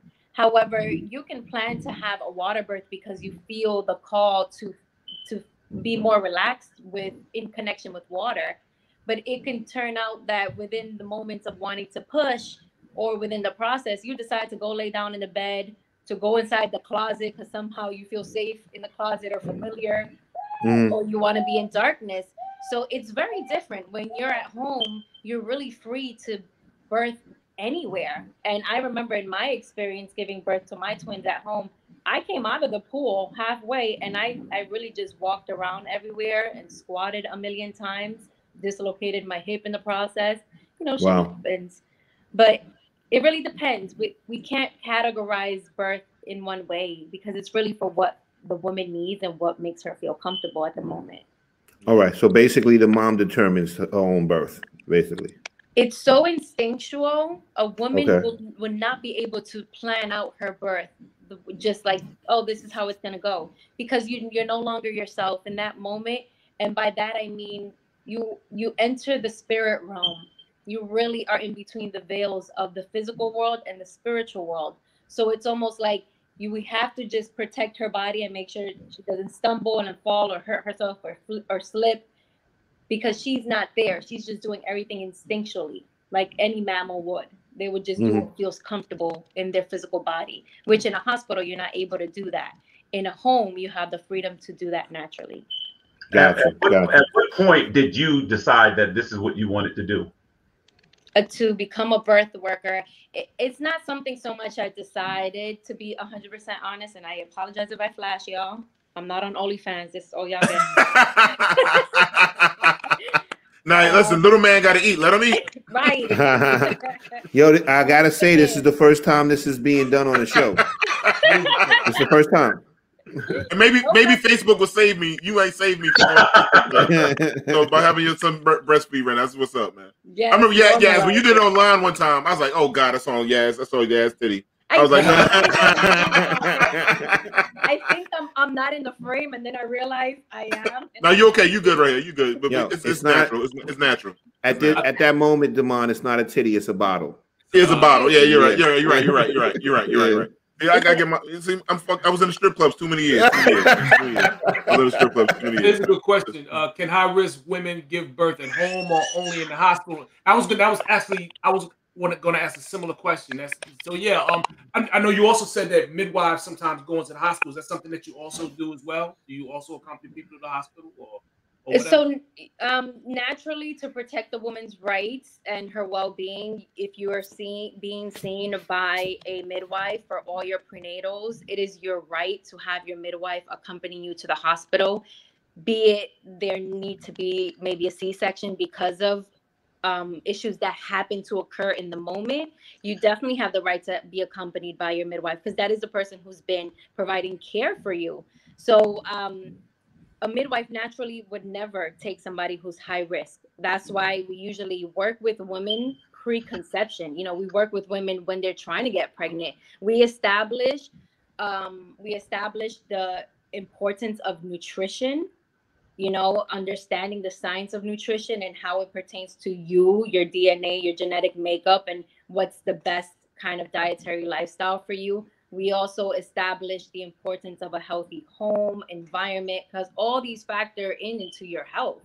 So um, they wouldn't take uh, a high risk client, they wouldn't take a high risk patient because they're not certified or professionals who cut into your body if there's an emergency we're only dealing with people who are, in a sense, completely healthy and can just have um, a non-invasive natural birth at home. So, so high risk women can have births at home. That's not that's not that recommended, right? It's not, and, and you wouldn't you wouldn't find a midwife who would take you at home because that's risking your life.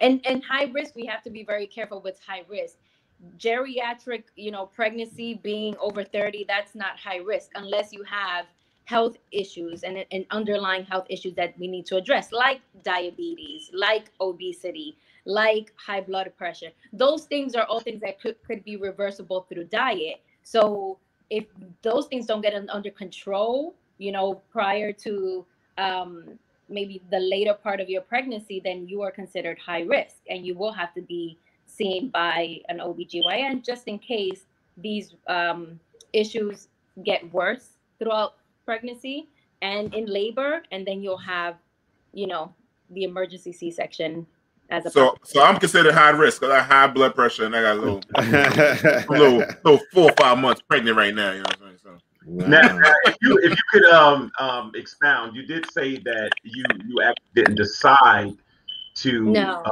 do this. So, uh, what was it? Um, how did you arrive at this point? Yeah, I I say I, I didn't decide because uh, calling this big and this uh, profound is it chooses you. It is something that i have further uh, um, learned from my own family history and learning about my grandmother and my great grandfather learning that they were healers and traditional agriculturists and people who connected a lot with nature. So i realized that in middle school, I had friends who were getting pregnant, and you know, I grew up in East New York. I was in the hood. Shit happens, and I was just always so passionate about supporting my friends. And I was like, "Dang, y'all got pregnant in middle school. Like, I don't even know what sex is." to the extent of having experienced it, but I, I was so passionate about learning about my body and the endocrine system and how we come to be human beings, how we reproduce, that I was able to educate them and hold space for them and really actually give them resources that they weren't getting from their families. Their families were judging them. You know, school, they don't have the uh, capacity to help a, a, a, young girl when she's pregnant. They usually, you know, send these girls away to these programs or whatever. So I was, that's when it started to show up. And when I turned 16, my sister got pregnant at a young age. Um, and when I was in college and I was doing something completely different, Spirit said, um, here's this documentary, The Business of Being Born. Boom. And I was like, shit, I've been doing this already. Right. Right. And it just it just went from there. I started to get serious about it, um, training and then learning more about my history and how what the my people and what my people look like and how they served in this in this industry. Right. Which made all the sense. Excellent.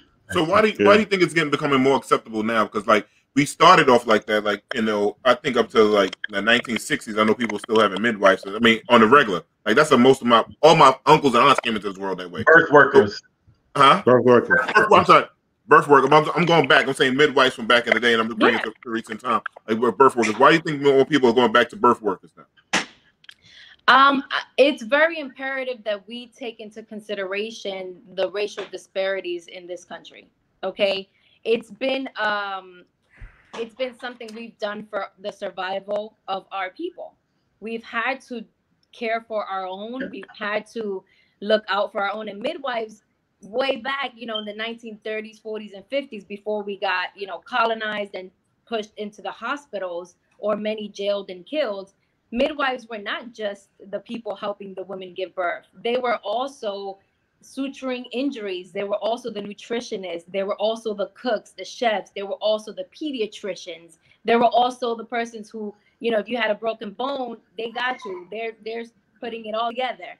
So I think it's important to understand that we've had to do it because we weren't accepted into these hospitals. Segregation, let's be real. That's why we, you know, when you look at countries like Cuba and Costa Rica, these countries, they have some of the best medical industries, medical history, or whatever. The way they do that, what they do is because ain't nobody coming to save them.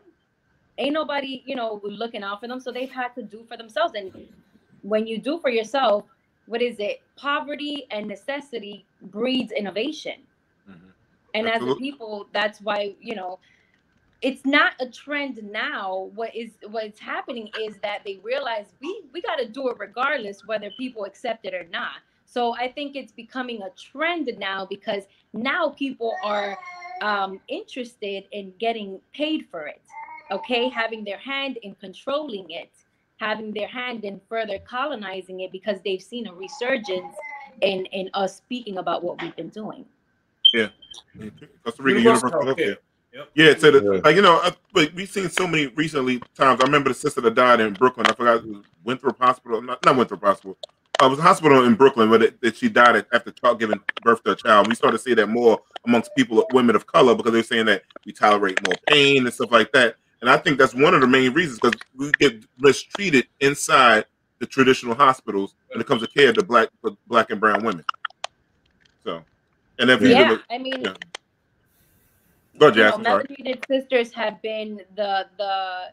I mean, look at Henrietta Lacks. All these women with quote unquote black people do not feel pain as much as as their counterparts, and that's all institutionalized racism. That's racism across the board. So what's important is to recognize that there is so much of an alternative in our own community that we have to start looking and waiting for white man's paperwork and white man's validation to save us and help us birth our mm-hmm. babies. Because it ain't, especially during this pandemic, so many people have turned to giving birth at home. I was one of the ones that I was like, there's no way in hell I would turn into a hospital. It's not safe in there. Y'all, y'all dying in there. Why would I go? I'm healthy as a horse. yeah. How how and, how and would a yeah.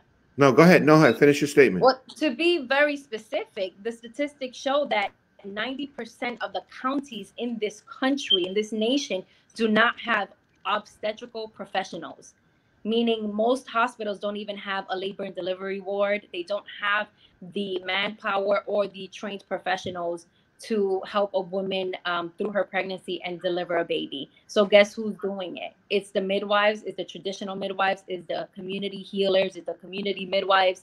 And we have to turn to our people for this kind of service because most hospitals aren't even prepared for us. And if we go in there, they just catching bodies left and right. So we got to be more responsible for ourselves. Wow, that's good, right? You was about to say something? How, yeah, I was about to say something. Um, how would a, a, a pregnant woman go about finding um a, a birth worker, a, a quality birth worker?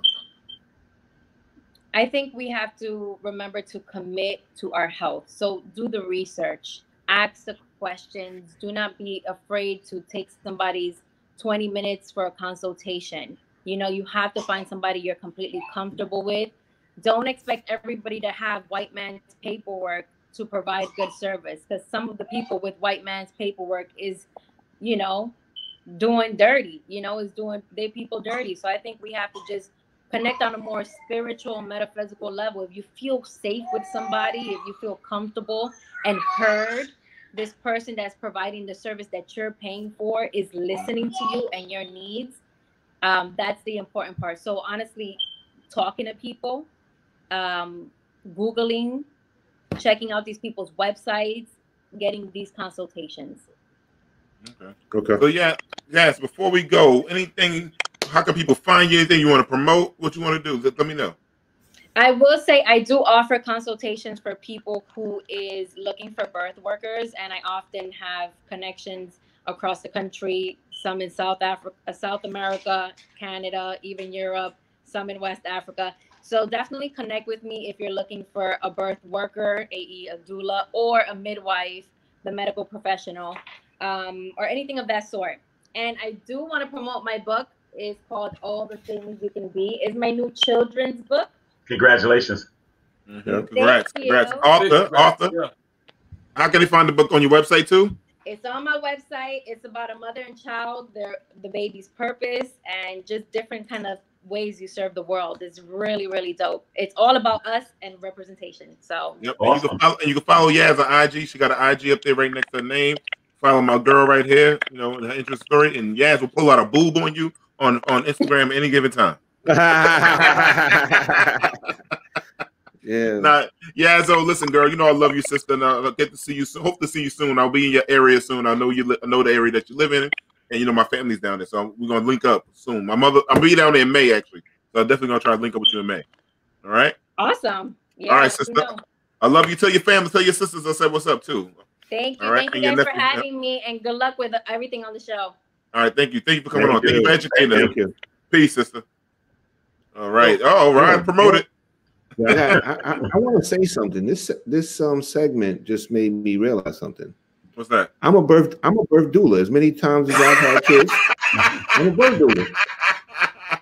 Yeah, I, I, I mean, you know, I got a lot of kids. So the thing is, I was in there a lot of times. I I was rocking, kid. I was I was holding it down, man. I know how to do it. I was I was rubbing backs. I was rubbing feet. You know what I'm saying?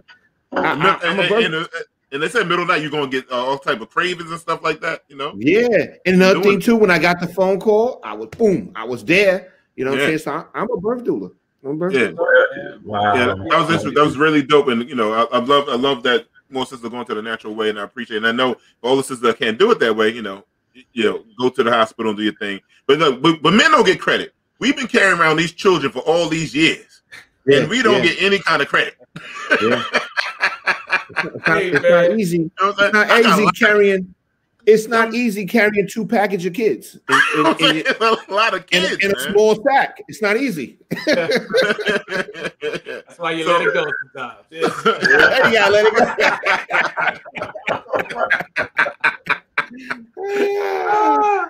and Oh, some, you of and some of us thousands might of let kids you know, in a sack in a sack of coins. It's You know what insane. And sometimes we might have to let it go on the tramp stamp. But that's another topic. So Yeah, man. A 10 time offender. 10 time offender. Don't. D. I got your back. You coming home? Know, You I'm, coming I'm home, getting D? banned, I'm, I'm getting banned again. I'm getting banned again. D, you get locked up. You're coming home? I got your back. Thank you. You I'm coming gonna- home every just- time. Put some money on my Facebook books, man. Put some money in I my got book, you. I man, got know? you. I got you. So, it, you know, um, let- in- speak like dating and stuff like that. I want to talk on the topic of dating. Like, you know, we know Governor of New York City, uh, New York State, is in some trouble now with the his own political party, and some other, you know, and other people, uh, you know, talking about him. But is it harder now for women? Like, you know, we got a lot of professional women, and they say a lot of professional women, especially women of color, having a hard time meeting guys. Has this kind of cancel culture made it hard on women meeting men in the workplace? And I would love a whole bunch of women to start chiming on it because, like, I think men, I'm scared to say your perfume smells good. I'm scared. Oh, you know what? You got a nice dress. Oh, did you do your hair? this week? It look really nice that style. Because I don't know how it might be taken now. Yeah, yeah. What are your it's strange. I remember a time when where I don't know, just in pop culture, whatever it was you want to call it. There was always this thing. Oh, it was hard for guys to meet a woman. You know, it was always hard to figure out what to say. And Mhm. now this whole cancel culture thing has taken that and just hopped it up on steroids and everything. You know what Yeah. I mean? So, so I don't know. You know, maybe it might be the women's turn to to kind of feel a little uncomfortable and maybe make the first move every now and then. You know what I mean? So I don't know. Yeah, yeah, And Nicole's right. Men are scared to uh, make a compliment. Nicole, but you Yeah. look good, girl. You look good. yeah, yeah. You know, I can say it because you're the homie. I know you ain't put me in jail and nothing like that. Sue me. yo, when when I used when I used to see guys getting in trouble at work, um, due to like you know, kind of like sexual harassment or whatever, it, it was usually kind of the creepy guys, the guys that were Mhm. always like coming on to the woman constantly, and she's already expressed that she's not interested. You know what I'm saying? My advice to guys, because you know I, I'm not I'm not dating, I'm not in the dating. No, this or but your advice is for a long time ago when you used to be in the It was a long time ago. long- long time ago. The thing is, like, you got to be today as a man. You got to be able to vibe if the chick, if the woman is interested in you or not. If she's interested and she's giving it back, giving you the rhythm back, then it's a go. But if she's telling you, "I ain't checking for you, I got a man" or whatever, I, I'm telling you right now, just chill out. Let's say But just back question- off. The question now is how dangerous is it to be wrong, though? You know what I mean? Like, you know, Mm. sometimes you can miscalculate. You know, Yeah. and Yeah. so now, you know, how do you, the, how at risk do you become? You know, if you miscalculate. Well, I think what you have to do is uh, you have to be more direct. I think years ago there was maybe a little room for innuendo. Now you have to just be direct. Back in the day, guys would like to take this slow approach in some cases. I'm talking about somebody that was mature enough to just say, you know, where they would kind of let on that they was interested in a person. Now I think you might have to just be honest to just take to swing and miss. Like, hey, I'm interested in you versus the you look nice and this, that, and the third. You might have to just come right out with it. So the person says yes or no, and this way you can know. Because I, I had an experience when I was 14 years old. I never look, I've never forgot this. Um, my father was an electrician. We had this, uh, he had this young guy that was about 20 years old working for him, young Italian guy. And the guy, we go to this job, and the guy sees a secretary, and he asks her, "It's like, hey, you know, would you like to have some drinks after work?" And she's like, ah, I don't, I don't think so. So I'm 14 years old. I go to him. I'm like, look, she looked like she was really interested. You should ask her again. He's like, you think so? I was like, yeah. after, after lunch, after lunch, he's like, you sure you don't want to go? When he said that second, you sure? The place filled up with black suits. They wanted him off the premises. He had to leave. He was about to get fired. All these different things like that because they said once she said no initially, and he Mhm. asked her again, it was harassment. And I can genuinely say he was a 20 something year old young man and meant no harm. And I learned that lesson right there. He meant no harm because back in the day, it used to be this thing like persistence. Some women may like persistence or they don't want you to just give up or whatever. And she seemed like she was undecided or on the fence. So he thought maybe, you know, if, she, if he showed more interest, maybe she would then give him a chance. And from that moment, now the only thing that saved him was she was like, Well, I don't want him to be fired. So he's like, Did he harass you or not? And so that was the thing. But I learned a very valuable lesson. And so, yeah, today guys are afraid, and you got to err on the side of caution. It's valuable lesson for anyone to listen to a 14 year old. A 14 year old named Kelvin. Yo, who ain't never had none at 14. They ain't even had none. About, you should go. That's what that's You should go ask her again. Yo, you was setting that. You set that white man up, man. That's what you did. Kelvin lined them up, man. lined him up. We lined that. But the thing is, as soon as Kelvin started saying it, telling that story, the first thing I, I, I picked up on was, yo, Kelvin's father had a white man working for him. And that was that was pretty good. Word up. That's his father, his father over his father overcame. He heard the speech from all Yeah, yeah, yeah, yeah. Oh my gosh. It- I worked in a, I worked in a command where a female um won a lawsuit for six hundred thousand dollars for sexual harassment. Wow. What's the what's the number? and she she took a year off after that too. Yeah. So and six the thing is, the lawsuit, Yeah, the lawsuit was against the lawsuit was against the supervisor, but he he continuously kept pushing the envelope, Mhm. and um as a result of it, she got six hundred thousand dollars richer. But you know, here's the funny thing: there was a whole generation of men that was taught, you know what I mean, to be hunters with regard to women. You know what I mean? To, to not take no for an answer. That's true. You know what I mean? Just, you know, just oh, you didn't try hard enough. You know, you got to be on it. You know, don't let it Yeah. get you. You got to. Yeah, I've seen some professors cross the line too when I was in school. I've seen some professors where it was like, um, you know, because I think they figured like, well, these these young ladies are over eighteen, and they just it just was really inappropriate. I, like I, I had a Yeah, that's brother, a like That's a psychology professor, and he would say some stuff, but I was like, man, like. Did anybody else just hear that? Because it like you know, it it was really, mind you, he's a professor. He's in authority over, you know what I'm saying. He has a position, and it's like, wow. But you know what? He was taught the same thing about dating and the same information about women that a, a ton of other men of his age group Mm. of this certain age were taught. You know what I mean? But So- like Loretta just said, I think it Yeah. might be like a thing Yeah, we- for this generation. I don't know. I'm not like before women like to chase and like to like you know, and they like to be pursued and they like to flirt. Now I don't know what this generation is. Everything's like anybody say they're offended by it. So I don't know if it's the generation of people. I don't. I don't know. Now look at what Nicole just said. She said professors are the worst. Now that's something that we wouldn't experience as guys. That's true. That's very true. That's very true. Think about it. She's in. She went to school, so she obviously had seen little suggestions, probably or hints. And I mean, wow, you you know, you don't really think of it like that, but that's that's interesting because they're seeing young women who are impressionable and whatever. So you can only imagine what goes on or what happens. Yeah, I, I definitely definitely tell you at work if you're a supervisor, you definitely better be careful because because you have authority. So then you know people can say you're using that authority to try to get me to go out with you or stuff like that. You know, but I noticed when um I was on the police department, like if you were equal rank, then it was a lot different. Like me and my wife met at work. You know what I'm saying? But we were equal rank and both supervisors and hey she couldn't control herself she couldn't keep her hands off of me so i basically realized that hey this is what she uh, wants you know what i'm saying so i had to give it to her Right. R- rumor rumor has it that she Leslie Jones you.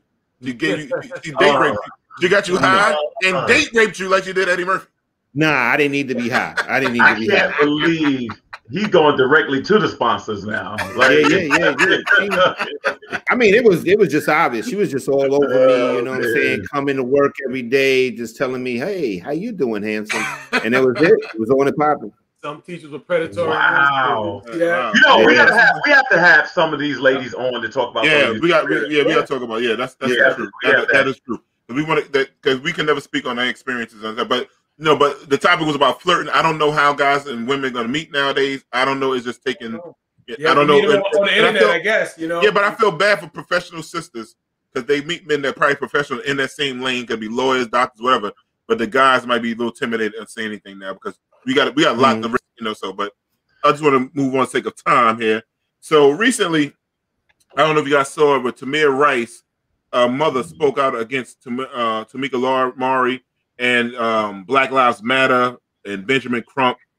You know, I don't know if the mother ran out of that first settlement money, and this is why she's speaking out, or the, what you guys thoughts on like why? What, are your thoughts when she's saying that people glamorize that and they got their fortune or got their fame on the death of their children and, and Mike Brown's father? I'm sorry, but I almost left out Mike Brown. Yeah, they didn't get a check. You know what I mean? They, they just they just lost their child, and, and to them, it's like everyone else is speaking, and everybody else is elevating their profiles, and even if they don't necessarily make a money or make money or raise money about that and keep it in their pocket, they're still raising their profiles and they're going on, and you know, and they're looking back and they say, well, what did we get out of it? You know what I mean? And, Mhm. and it's hard to argue. It's hard to argue against it. You know, so um, I, I don't know. I, I, and, and and then also you're still dealing with that pain of losing your child. You know, Yeah. it's kind of hard. You know, I'm, So- I'm gonna Rod, Rod, you can grab the mic up there because I'm Yeah, no, the thing is, is I, I mean, I don't, I don't know a lot about the story. I would hate to think that this would be about a check. You know, what I'm saying, considering you lost a child and and, and stuff like that. So, you know, I, I, I don't know. I just would, I just hate to think that it's about a check.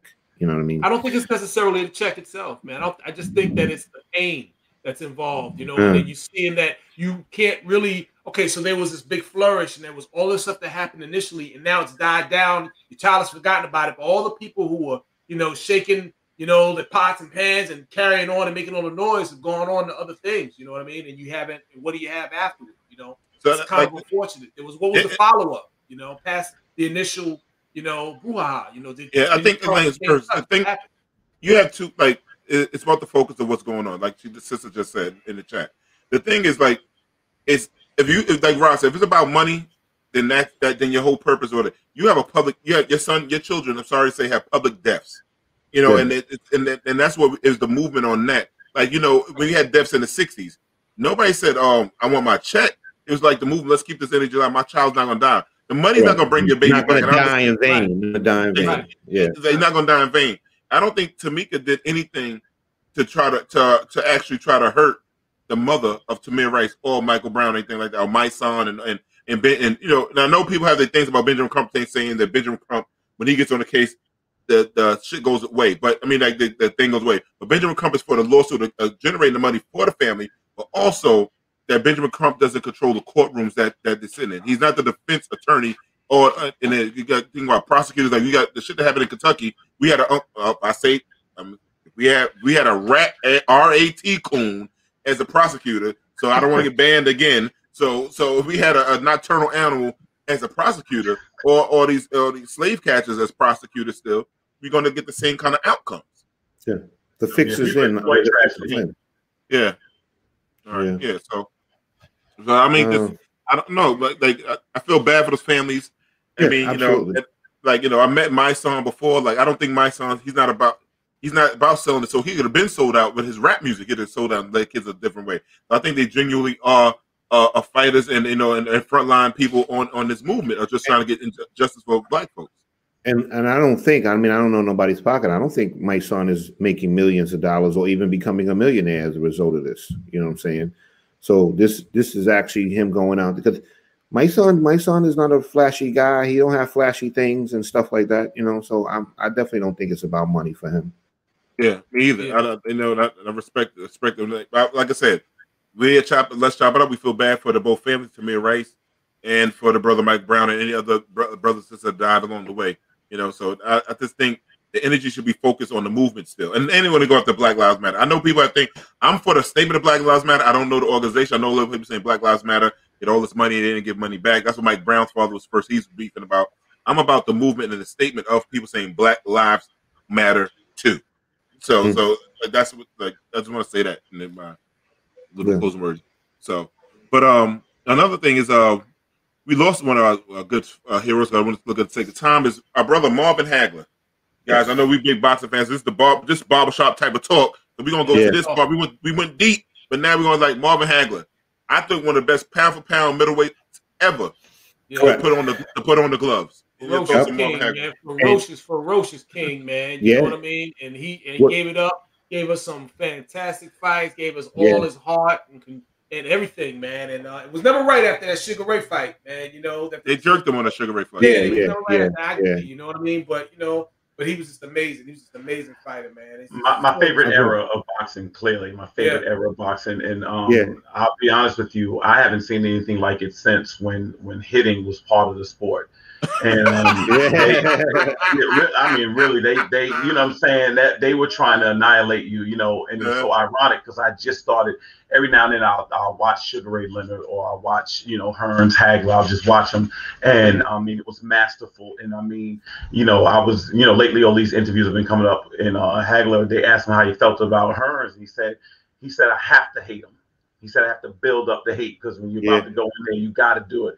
You know what I mean? And so that's what they did, and they but they had the the utmost respect. Um, you know, the Sugar Ray Leonard was was obviously a tipping point for him. He he felt he never got his due. He felt he never made the money that he should have made, and everybody Sugar Ray was like a national treasure. He was everybody's favorite and things like that. So, but um, I definitely salute um, a masterful boxer. And the, the thing that amazed me, the man never got old looking. The man just Right. always stayed Right. in impeccable shape. He just Yep. always looked the same, took care of himself, you know, but he was an absolute warrior in the ring. And so we're so appreciative. And I'm glad we actually had a chance to see um, his greatness in real time. And every young person out there that hasn't seen him, go on YouTube and check that era out. You'll, you'll absolutely love it. Yeah, Absolutely. And, the- and one thing I want to say about Marvin Hagler, why I think they were scared of him back in the day, and Rodney always told me this: they always scared of the big black bald man. and right. him if he was bald, and Sugar Ray was a pretty boy. I know he was he was safer looking. Yeah, that's thing right. He was safer. Sugar was Correct. safer. and you got to also realize if you if you if you follow that era um marvin hagler was very also out very spoke he was outspoken so he said a lot of things that people found that to be offensive and he was extremely confident as a black man and that's sometimes white america doesn't like that he was bald he was ferocious and he was outspoken so it, that's that's extreme to some people but i remember being a kid i had a marvin hagler poster in my room the the two greatest fights I ever saw was the first round of him and Hearns, which was Oh, historic. Historic. I don't think I, I don't believe that there ever will be a first round like that. No, I If mean, you ever those- watched it, watch it. yeah. I mean, the, the first round, everybody's got their most energy. They came out there and they slugged it out until somebody dropped. You know what I'm saying? You know what he said, Rodney? He said that they threw on average 80 plus punches apiece Yeah, in that correct. round. In the round. And I'm going to tell you another thing because I'm a little bit of a boxing historian. If you need to watch the fight with him and Dwight Cowie. Woo! Oh yeah. That was a smoker too. The thing is, Marvin Hagler, no matter what you hit him with, you could hit him with a Pinto, a Ford, a Buick, he was still coming. He did not stop. He was going to be in front of you the whole time. And the thing is, he was a master of his craft. He took it very seriously. He was always in, as Kelvin said, impeccable shape. Even when he wasn't fighting, he was in impeccable shape. Yeah. You know what I mean? Um, he moved to Italy. He started making movies in Italy, and he still was in shape after that. Still had a six pack as like an older man. Yeah, you yeah, know what I yeah, mean? yeah. But um, Marvin Hagler was definitely, definitely one of the greats, and I definitely don't think Marvin Hagler got his just due Yeah. in, in, in So- history of boxing. Yeah. So a person that got his just due in the gospel music was a brother Kurt Franklin. Kurt Franklin, that we saw in uh, recent times, had a uh, well, he had a family, private family matter that his son made public and put it Mm-hmm. on. Uh, tried to really uh, uh, uh, get people to look at Kurt Franklin in a different kind of way. So He's I trying, think he's trying to hurt his career. He's trying to hurt his career. hurt his career. His Yeah. son is a 33 year old man. Now he's now he's claiming uh recent uh I saw maybe a couple of days ago that Kurt Franklin uh molested him or knew that he got molested before and, and didn't say anything come to so what are you guys thoughts on this son now trying to play this I, I think the son, and I didn't hear that part, but I think the son is realizing this this this backfired. Yeah. Um. I, I see no support for the son. I mean, people. I mean, Kurt Franklin is coming across as a sympathetic figure. First of all, every parent understands the frustration uh, of when your child goes in a direction that that is definitely off the rails, and that's what it looks like with this young man. And what this is not the first time they've had issues with this young man.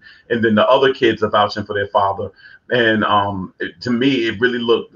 Forget the, the the cursing and the arguing. Families do that. Period. That's just across the board. But the thing is, it just really looked so punkish on his son's part, so Correct. weak. I mean, I don't care what. My father used to have this expression: "I'm still your father." I mean, right, Correct. wrong, or different. I'm still your father, and there's still a Correct. level of respect that I would give my mother and father, regardless, even if they were in the wrong. There's still a level of respect that I'm going to give, and I will never ever disrespect uh, my father by shouting at him or whatever. That I, and it just it made him look bad. So whatever he's saying now, I think it's much to do about nothing. I mean, I'm not I'm not remotely interested in um, you know, kind of disrespecting Kurt Franklin behind it. I don't look at him any any different or whatever like that. I mean, I just think it was a bad look for the son. More, it, it, it looked worse. The, the son uh, playing that looked worse than than Kurt saying that. Mhm. Yeah. Yep. Kel- Kelvin, I'm going to say something you can't say. I'm going to say that was a bitch ass move what his son did. now, the thing is, it's the it's it's the ultimate betrayal. That's that's what we wi- that's what we witnessed here. And Demond, I'm going to correct you about something. You said he was a 33 year old man. He's not a 33 year old man. He's a 33 year old boy. Because only a boy would have did that to his father. That's right. Yeah, You know what I'm saying? bitch. Punk bitch. Punk, yeah, he was a punk ass. That was a punk ass, bitch ass move. Yeah. Yeah. So the thing No. is, like you did, Kelvin, you're absolutely right. It did backfire on him as well as it should, because the thing is, like, to to do that to your father and to air out your dirty laundry. Say, I'm from a family like we we didn't air our dirty laundry out. You know what I'm saying? You know, I'm, I'm in a I'm in a marriage now that we have that same rule here. We don't air our dirty laundry out. You know, we're family. Whatever our dirty laundry is, we keep that we keep it here. You know what I'm saying? But for a, a son to do that to his father, ultimate betrayal. That's Yeah. that's it in a nutshell. No, my mom used to say so there's a there's definitely a titillation factor involved in this. Obviously, you know, putting putting no putting our family business out in the street, as we used to say. You know, what Yeah, I mean? What yeah. my mother used to call it. You know. Yeah, yeah. Um, yeah, you know, and, and, and you're right. You know, this was not. You know, this was the the act of a 33 year old boy. You know, man or Boy whatever. you bitch, boy bitch. Yeah, yeah, yeah. You know, he's a bum. Yeah, yeah, you know, but but but but here's the thing. You know, what I'm what I what what stuck with me was uh Kirk answered the phone call. So whatever it was that was going on, he wasn't expecting to have that kind of conversation. You know what I mean? I know they had they had previous you know previous confrontations and conflicts and Mhm, everything, but he wasn't he didn't when he answered that phone call, he, he he that was that wasn't it. He wasn't expecting this to, to have that sort of confrontation.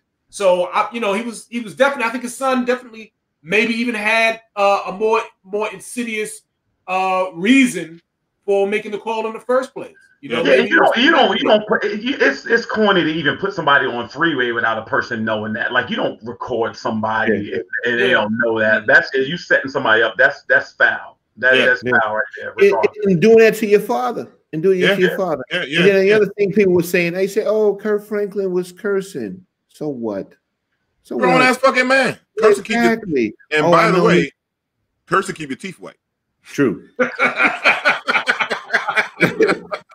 so, let's make sure people know that. You know what I'm saying? Thing is, too. Guess what? We're all human. We all we all make mistakes, and we all get mad.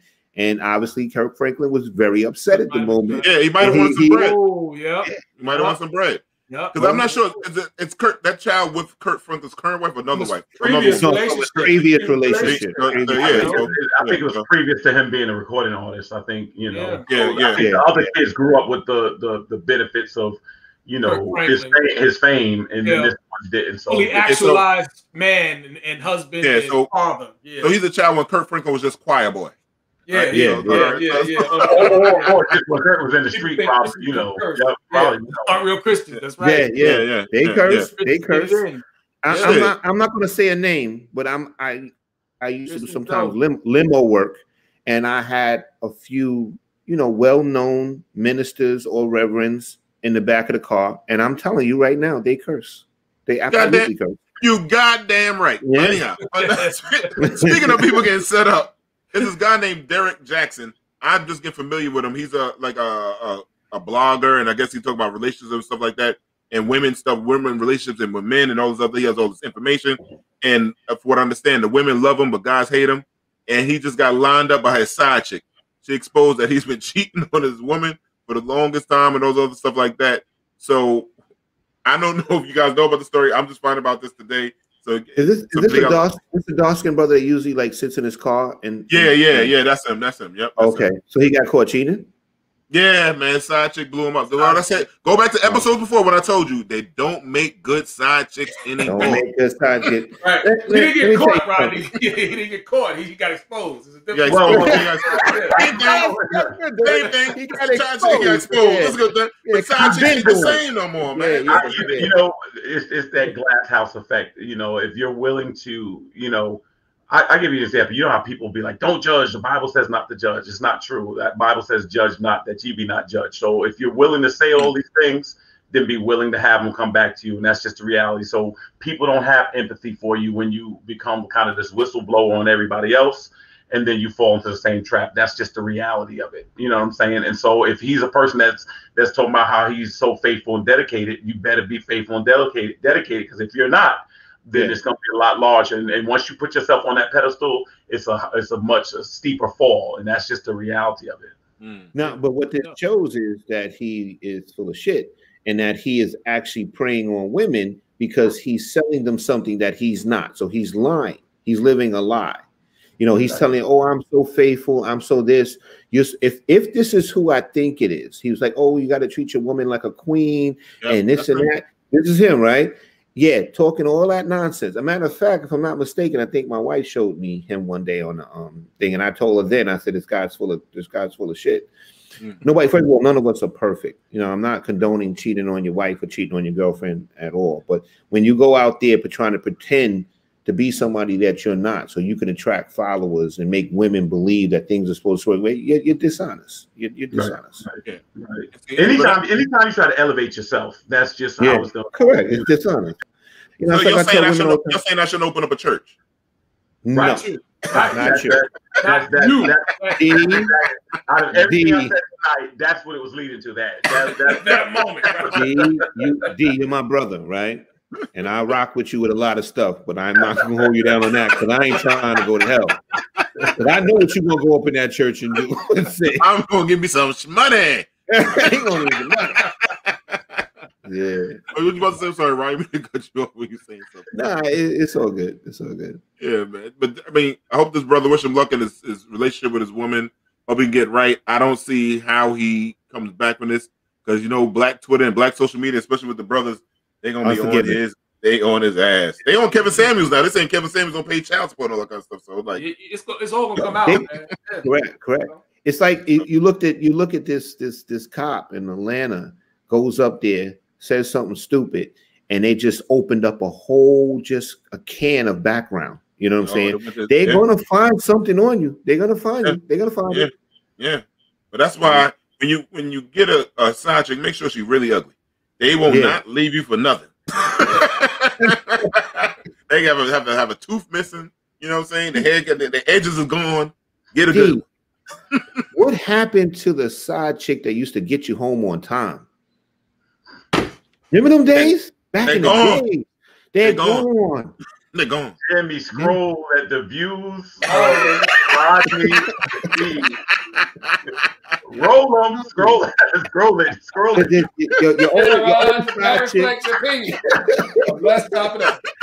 Nah, I'm just joking. I'm just joking. We This is just- long, we this a long time ago. This was not. It was a long time really- ago, long time ago. But you know, we, we wish the best for this brother, and we wish the best for our brother Kirk Franklin and everybody like that. But you know, brothers, this was a good, another good show, man. This was fun. I had a lot, a lot of jokes. My my cheeks are hurting from laughing so much tonight. This was really good, man.